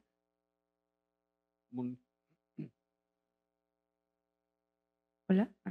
Puedo yo nada más complementar la parte de la metodología que em, utilizamos acá. Es que mm, tenemos dos maneras de hacerlo. La primera tiene que ver con, eh, realizamos búsquedas automatizadas en redes sociales y ahí también parte de la, de la respuesta como cuál ha sido la importancia de redes sociales en esta en este proceso eh, mediante como serie de combinación de palabras y también hacemos un proceso de búsqueda automatizada en buscadores para identificar el mayor o captar el mayor número de, de notas. Y como ya decía Sandra, tenemos luego un proceso de verificación de la información a partir de la metodología que, que han estado investigando y desarrollando eh, la autora Sandra junto con otros colegas. Em, y lo que nos parece muy importante aquí es que justo, justo como también decía em, Sandra, es que, digamos, como los ataques durante las elecciones son solamente el punto de partida, ¿no? Y a pesar de que sí hay algunas, sobre todo consultorías y empresas que se han dedicado a documentar momentos han sido específicamente durante el proceso electoral y además son datos que son privados, ¿no? Que requieren mucho, o sea, son bastante costosas, ¿no? y, y, parte de la idea de este proceso es eh, generar elementos que permitan, em, o sea, recuperados por periodistas, eh, pero que permitan a periodistas a su vez realizar investigación. Entonces, estas bases de datos las pueden descargar en la página que mencionó Sandra, que es Votar entre Balas eh, de Data Cívica, y la idea es fomentar espacios para que haya investigación a partir de, esto, de esta base de datos generada, ¿no? Entonces, otra vez es la invitación a que si quieren consultarla y también podemos platicar un poco más para quienes no tengan el tiempo o las herramientas para poder hacer ese análisis de, datos o de información, también podemos acompañar desde este lado y pretendemos también hacer el monitoreo de todo el próximo año. Em, por supuesto que acompañado de una capacitación a periodistas, entonces también estaremos abriendo esa convocatoria para, para quienes quieran acompañarnos en el proceso de monitoreo. Mm, gracias, eh, Mónica. No sé si alguien más, Sandra Romandía, por favor. Gracias. Bueno, contestando a la pregunta en el tema de la academia y de los estudios, este, hace poco hice una revisión a los programas de estudio de las universidades de periodismo y comunicación en México para un artículo que publiqué en Letras Libres. Y, y sí llamaba la atención encontrarme programas de estudio en los que todavía este, prensa escrita, eh, términos que la verdad ya ahorita están, son, totalmente anacrónicos. Y creo que es, es, un tema del que no se habla porque es muy poco seductor, eh, no tiene tanto eh, componente político, a lo mejor es un poco menos apasionante, pero sí creo que la academia en México tiene que unirse las universidades para, por una parte, a proteger la profesión, profesionalizarla y darle un nivel un poco más sofisticado. Hace, unos años existió en Estados Unidos una organización que se llamaba periodistas eh, preocupados por el periodismo o consternados, bueno, eh, preocupados más bien sería la traducción, y, en un libro en el que recogieron varias entrevistas, se cuestionaban por qué no, es, no está en el grado profesional el periodismo cuando a veces somos fiscalistas, abogados, este, somos jueces, de pronto confluimos en, en, en, en, varias, lo que hacen varios profesionales que deben de tener hasta exactitud científica y eh, hace falta siempre esa articulación y gracias a estas alianzas que, por ejemplo, Mónica nos está comentando y otras capacitaciones, pues hemos podido tener, yo diría, y también soy, soy eh, adepta a la esperanza, una generación de periodistas jóvenes, por una parte con mucho más temor, sí, que nos está costando reclutarlos en los medios, pero por otra parte otros más comprometidos que tienen metodologías de investigación mucho más sofisticadas, mucho más claras, que en la que interviene un acceso a la información, etcétera. Y, por otra parte, lo que decía el compañero de los sueldos, sí es algo grave, debería ser una emergencia eh, casi humanitaria. Es, es, es, terrible que los reporteros tengan que salir con, a la calle por 7 mil pesos al mes. Eh, hay una, es mucho más, más allá la complejidad. Eh, yo que he podido estar eh, de alguna manera dirigiendo pequeños medios, pero intentando levantar empresa, es una industria en crisis, es una industria que ya no cuenta con el mismo modelo de negocio que antes, que era la publicidad gubernamental, la publicidad de, de las corporaciones o las empresas, ya, ya no existe o al menos ya no, no da esos modelos y no hemos logrado encontrarlo y de alguna manera eh, es un panorama absolutamente complejo que eh, todos deberíamos de, a todos debería preocupar. O sea, el INE, ¿qué haría sin dinero? Ahorita es una discusión, una marcha este, eh, relacionada también con el tema de no tocar al INE, porque claro, si al INE mañana le dejan cero pesos, pues ¿qué va a hacer? Y, y, cumple una función muy específica y muy importante para la sociedad, ser el árbitro electoral. Los periodistas cumplimos una función muy específica que es contar las historias de lo que está pasando y como dice Héctor, nadie más las hubiera, las hubiera contado. Estas historias, por una parte, a veces no tienen consecuencias directas, pero sí creo que cambian conciencias. Sí, eh, fue muy claro cómo después de grandes reportajes como La Casa Blanca, como la estafa maestra coordinada por, nuestro colega también Daniel Moreno aquí presente, por supuesto cambiaron conciencias, muchas no tienen consecuencias legales o judiciales. Entonces, eh, eh, bajo esta, esta percepción es que tenemos que seguir defendiendo el periodismo y exigir que haya un alto a la impunidad. Hay un mecanismo de protección a periodistas ineficiente, es una pastillita para un megacáncer que no debería existir porque no deberían de existir estas agresiones. Y, lo digo yo, que yo estoy dentro de ese, de mecanismo porque no nos queda de otra, porque eh, nuestros sueldos pues, no son suficientemente altos para contratar una escolta permanente o seguridad mucho más mucho más fuerte y poder seguir haciendo nuestro trabajo. Eh, en fin, a mí lo que me queda, y, retomo el tema del pequeño efecto que tengo de la esperanza, sí creo que hay un camino eh, por venir que tiene que ver con la conciencia de la importancia del periodismo, de rescatarlo, de que no muera como muerto en Cuba y que desde todas nuestras trincheras pues podamos seguir diseminando este mensaje, reflexionándolo y defendiendo esta que para mí sigue siendo el oficio más hermoso del mundo.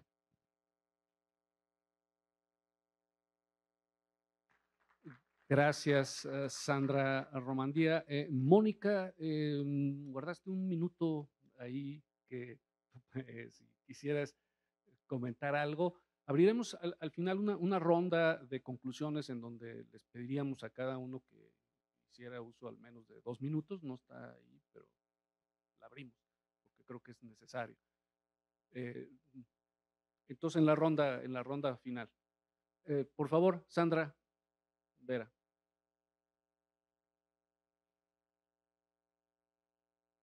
Solo para mencionar que me llevo una enorme tarea y voy a hablar en momentos muy complicados, pero en la, en la defensa de la, de la, academia, y voy a hablar por el CIDE, por eso digo también que son momentos complicados, y el corredor eh, Coajimalpa-Santa Fe, ¿no? Eh, donde hay, hay, bastantes esfuerzos por apoyar a los periodistas. Ibero fue, eh, es, trata de ser, este año es particularmente complicado, pero también porque el gobierno no solo se ha eh, destinado hacia los periodistas, sino a los académicos también hemos recibido nuestra parte. Eh, pero bueno, el CIDE tiene una, una maestría en, en, periodismo de políticas públicas que es extraordinaria, pues ya no, ya pero Grisel Salazar ha hecho un esfuerzo extraordinario. Bueno, esos estudiantes lo recuperó la Ibero, que en su, en su maestría de comunicación tiene una línea de periodismo que es muy, muy fuerte. Entonces, bueno, ahí está. Y también está el programa Aprende, que históricamente es un mecanismo de apoyo a periodistas, donde se les da una beca durante seis meses, a veces un poquito más, y bueno, tiene una, una formación eh, extraordinaria. Entonces, bueno, hay, hay, esfuerzos y ahora lo estaba buscando desesperadamente. Hay, hay, otros esfuerzos por periodismos cada vez más especializados, entonces ustedes buscan periodismo digital de moda, ¿no? Entonces seguramente se encontrar esa, esa formación, o periodismo deportivo especializado en... Entonces todo esto existe y hay ese esfuerzo, pero bueno, me queda de tarea eh, pues llevar también esa, esa solicitud. Y, eh, y, bueno, ya, solo quería defender esa parte de la carga. Muchas gracias. Gracias, Sandra Vera. Pues les propongo entonces que para concluir con la mesa tengamos dos minutos de conclusiones y les propondría empezar ahora de allá para acá, de, de, de tal manera que eh, este, sigamos otro, ese orden distinto. Por Muy favor. bien, much, muchas gracias. Yo pues solo terminar agradeciendo pues a, a, a, al INE, a, a, todos y todas las, los presentes. Y eh, así como me llevo una, una tarea, me llevo una, una pregunta, que es esta de cómo, aparte de todas las preguntas que ya, que ya traía, es cómo un periodista puede exhibir en, los términos eh, de Samarripa, cómo, cómo puede exhibir eh, si además se entremezclan los grupos criminales, ¿no? ¿Qué podemos hacer además con esa, con esa otra dificultad? Y voy a hacer una solicitud, y la hago a nombre propio, pero me parece que podría tener sentido para todo lo que se ha dicho, una solicitud al INE pues de, de continuar eh, la promoción de estas reflexiones. Yo sé que no es su chamba eh, y sé que tienen muchas otras cosas que en que pensar y, qué hacer, pero de verdad yo hago esa solicitud y que ¿no? espacios como estos me parecen fundamentales. pues nada más, muchas gracias. Gracias a ti, Sandra. A ver, Roberto, si eres tan amable.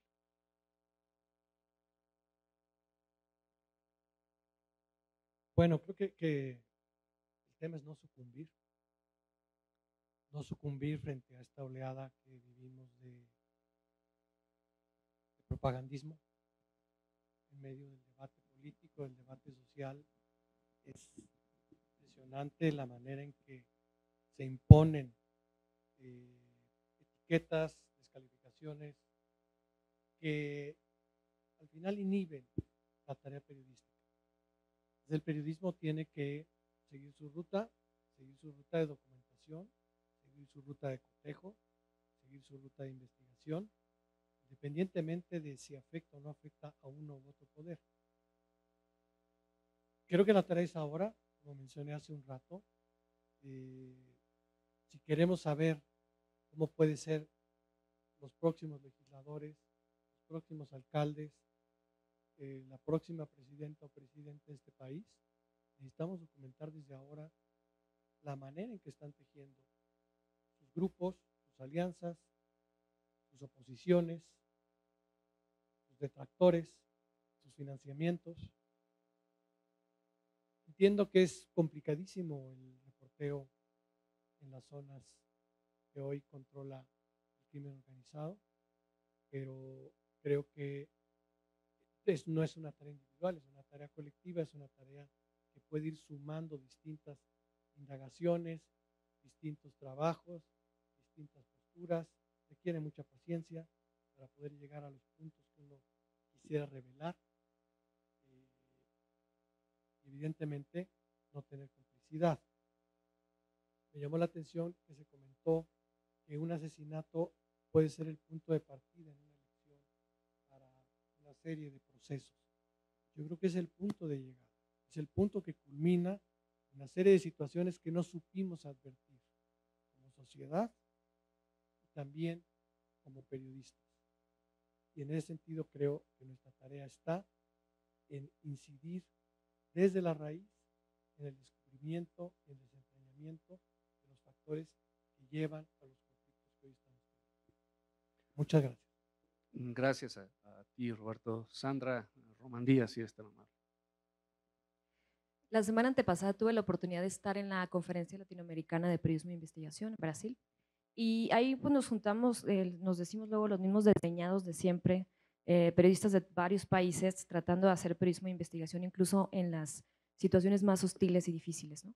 Y algunos compañeros de, de Cuba, de Nicaragua, eh, de El Salvador, nos decían, hubo, hubo un, momento, obviamente cada quien en sus tiempos totalmente divergentes, en el que, en el que era muy fácil la denostación presidencial hacia nuestro, o de los poderes hacia nuestro trabajo, y después la descalificación y después ignorarnos y después amenazarnos y después sacarnos del país y después este, parar nuestras reacciones.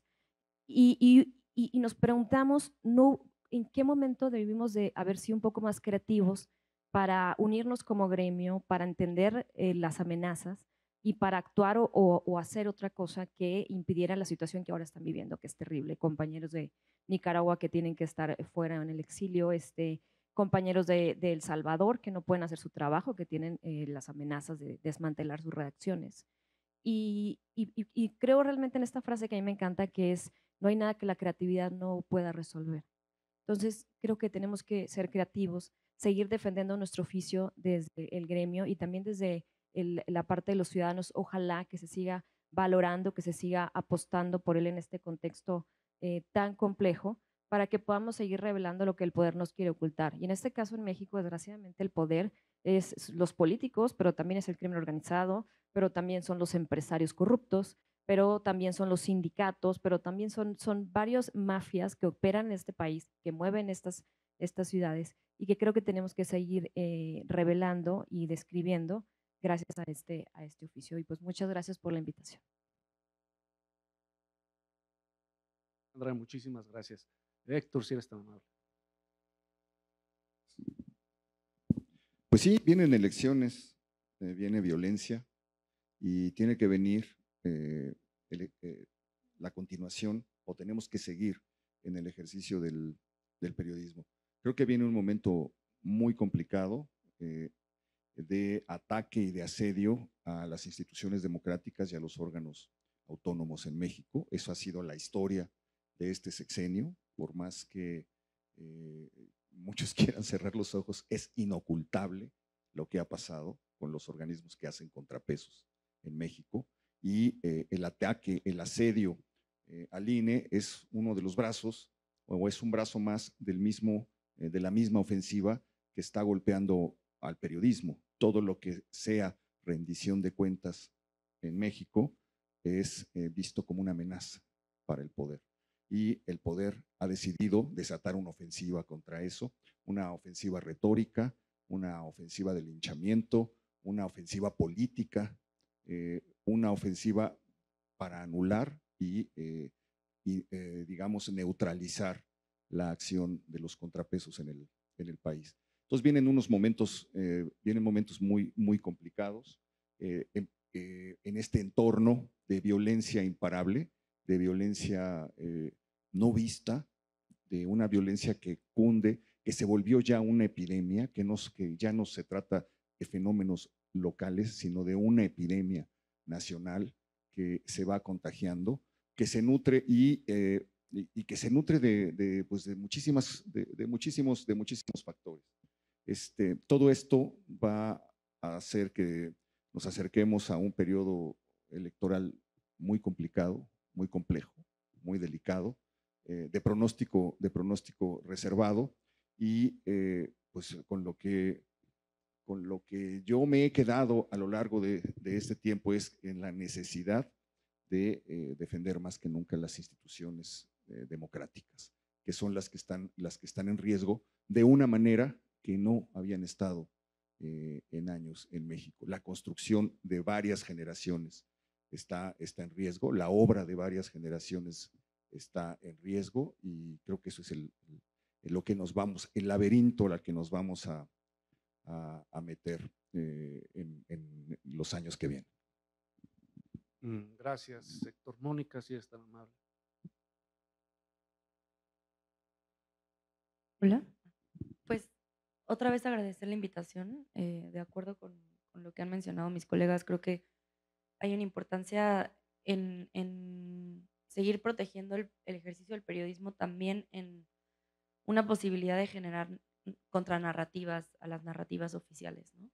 Em, creo que eso es imposible sin tener eh, periodistas comprometidos y comprometidas y desde donde nos toca a nosotras, que es desde sociedad civil, creo que también em, refrendar el compromiso que tenemos para poder acompañar las investigaciones, para poder acompañar capacitaciones en la medida de lo posible, para poder seguir generando estas narrativas que sean contranarrativas a, a, estas, eh, digamos, narrativas impuestas.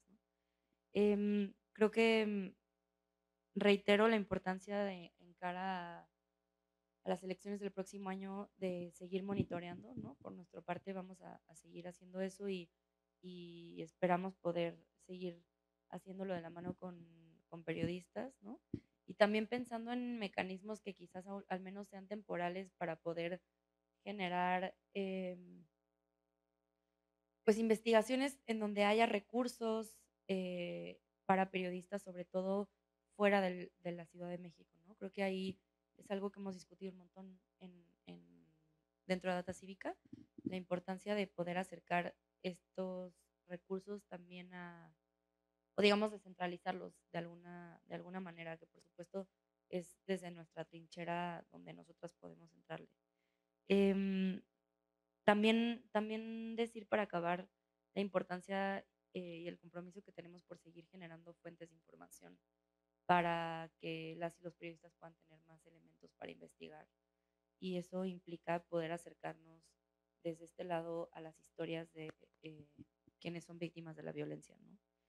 Em, y bueno, nada, agradecer y, reiterar nuestro, nuestra admiración. Eh, mucho del trabajo que hacemos desde Data Cívica no sería posible sin el trabajo que hacen las y los periodistas. Entonces, pues el compromiso que tenemos desde este lado de acompañar y poder seguir documentando y monitoreando las violencias que también les afectan a las personas en el ejercicio de, del periodismo. Muchas gracias. Gracias a ti, Mónica. Sandra Ley, por favor. Muchas gracias.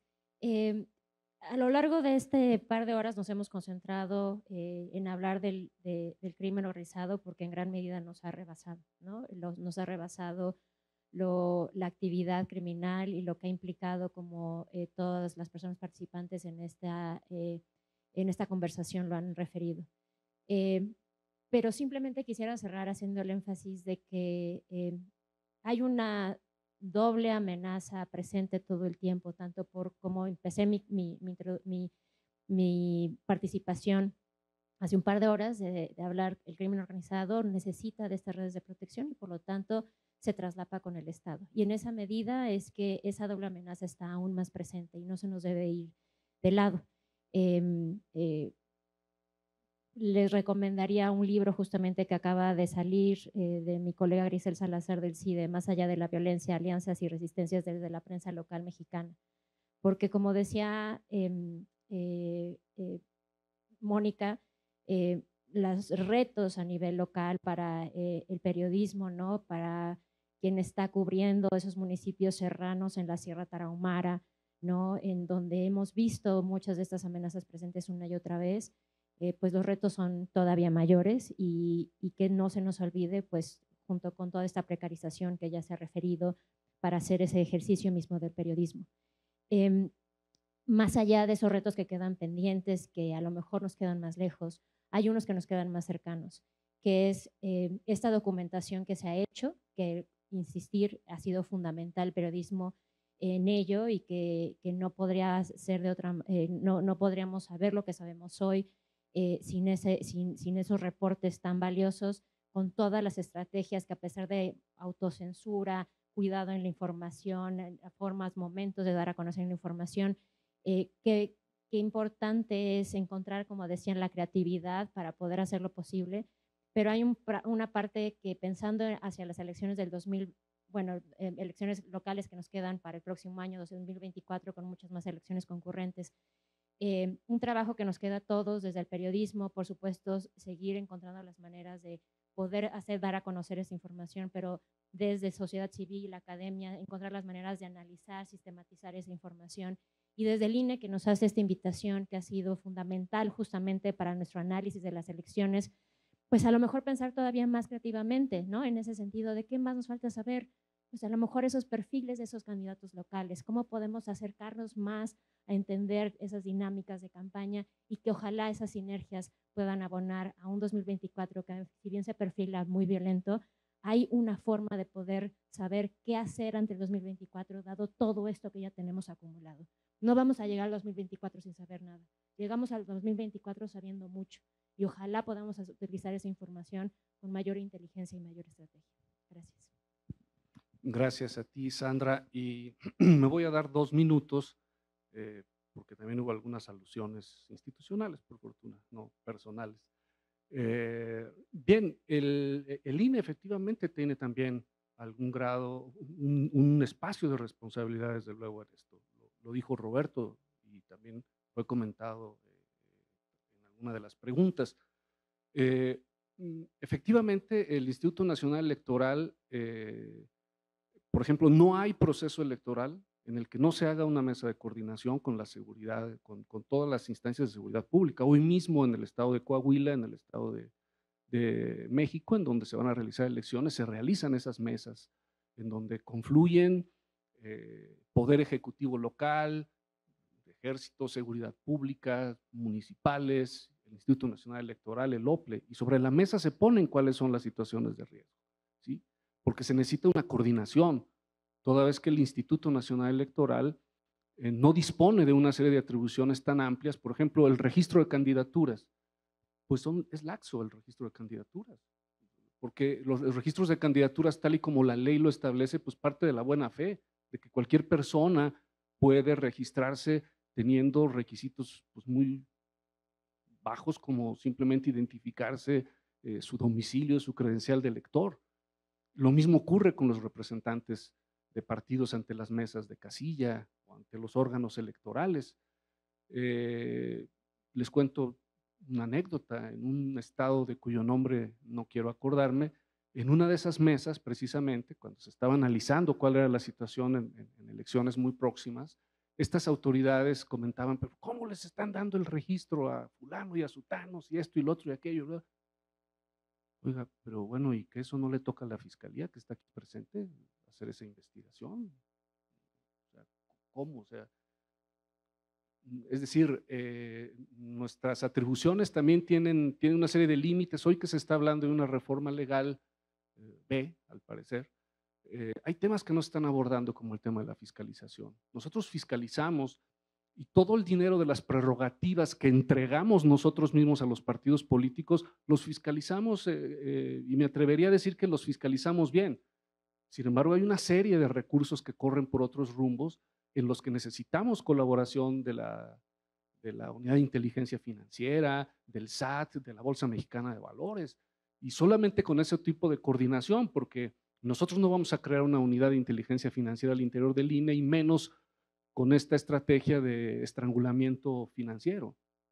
¿sí? Sin embargo, eso no quita, y, no quiero sacarle al parche, decir, bueno, pues no, nosotros también necesitamos y tenemos alguna serie de responsabilidades, pero que tienen que ver fundamentalmente, creo yo, con la coordinación con distintas autoridades del Estado mexicano que disponen de información. Sin embargo, en muchas ocasiones hasta se nos niega.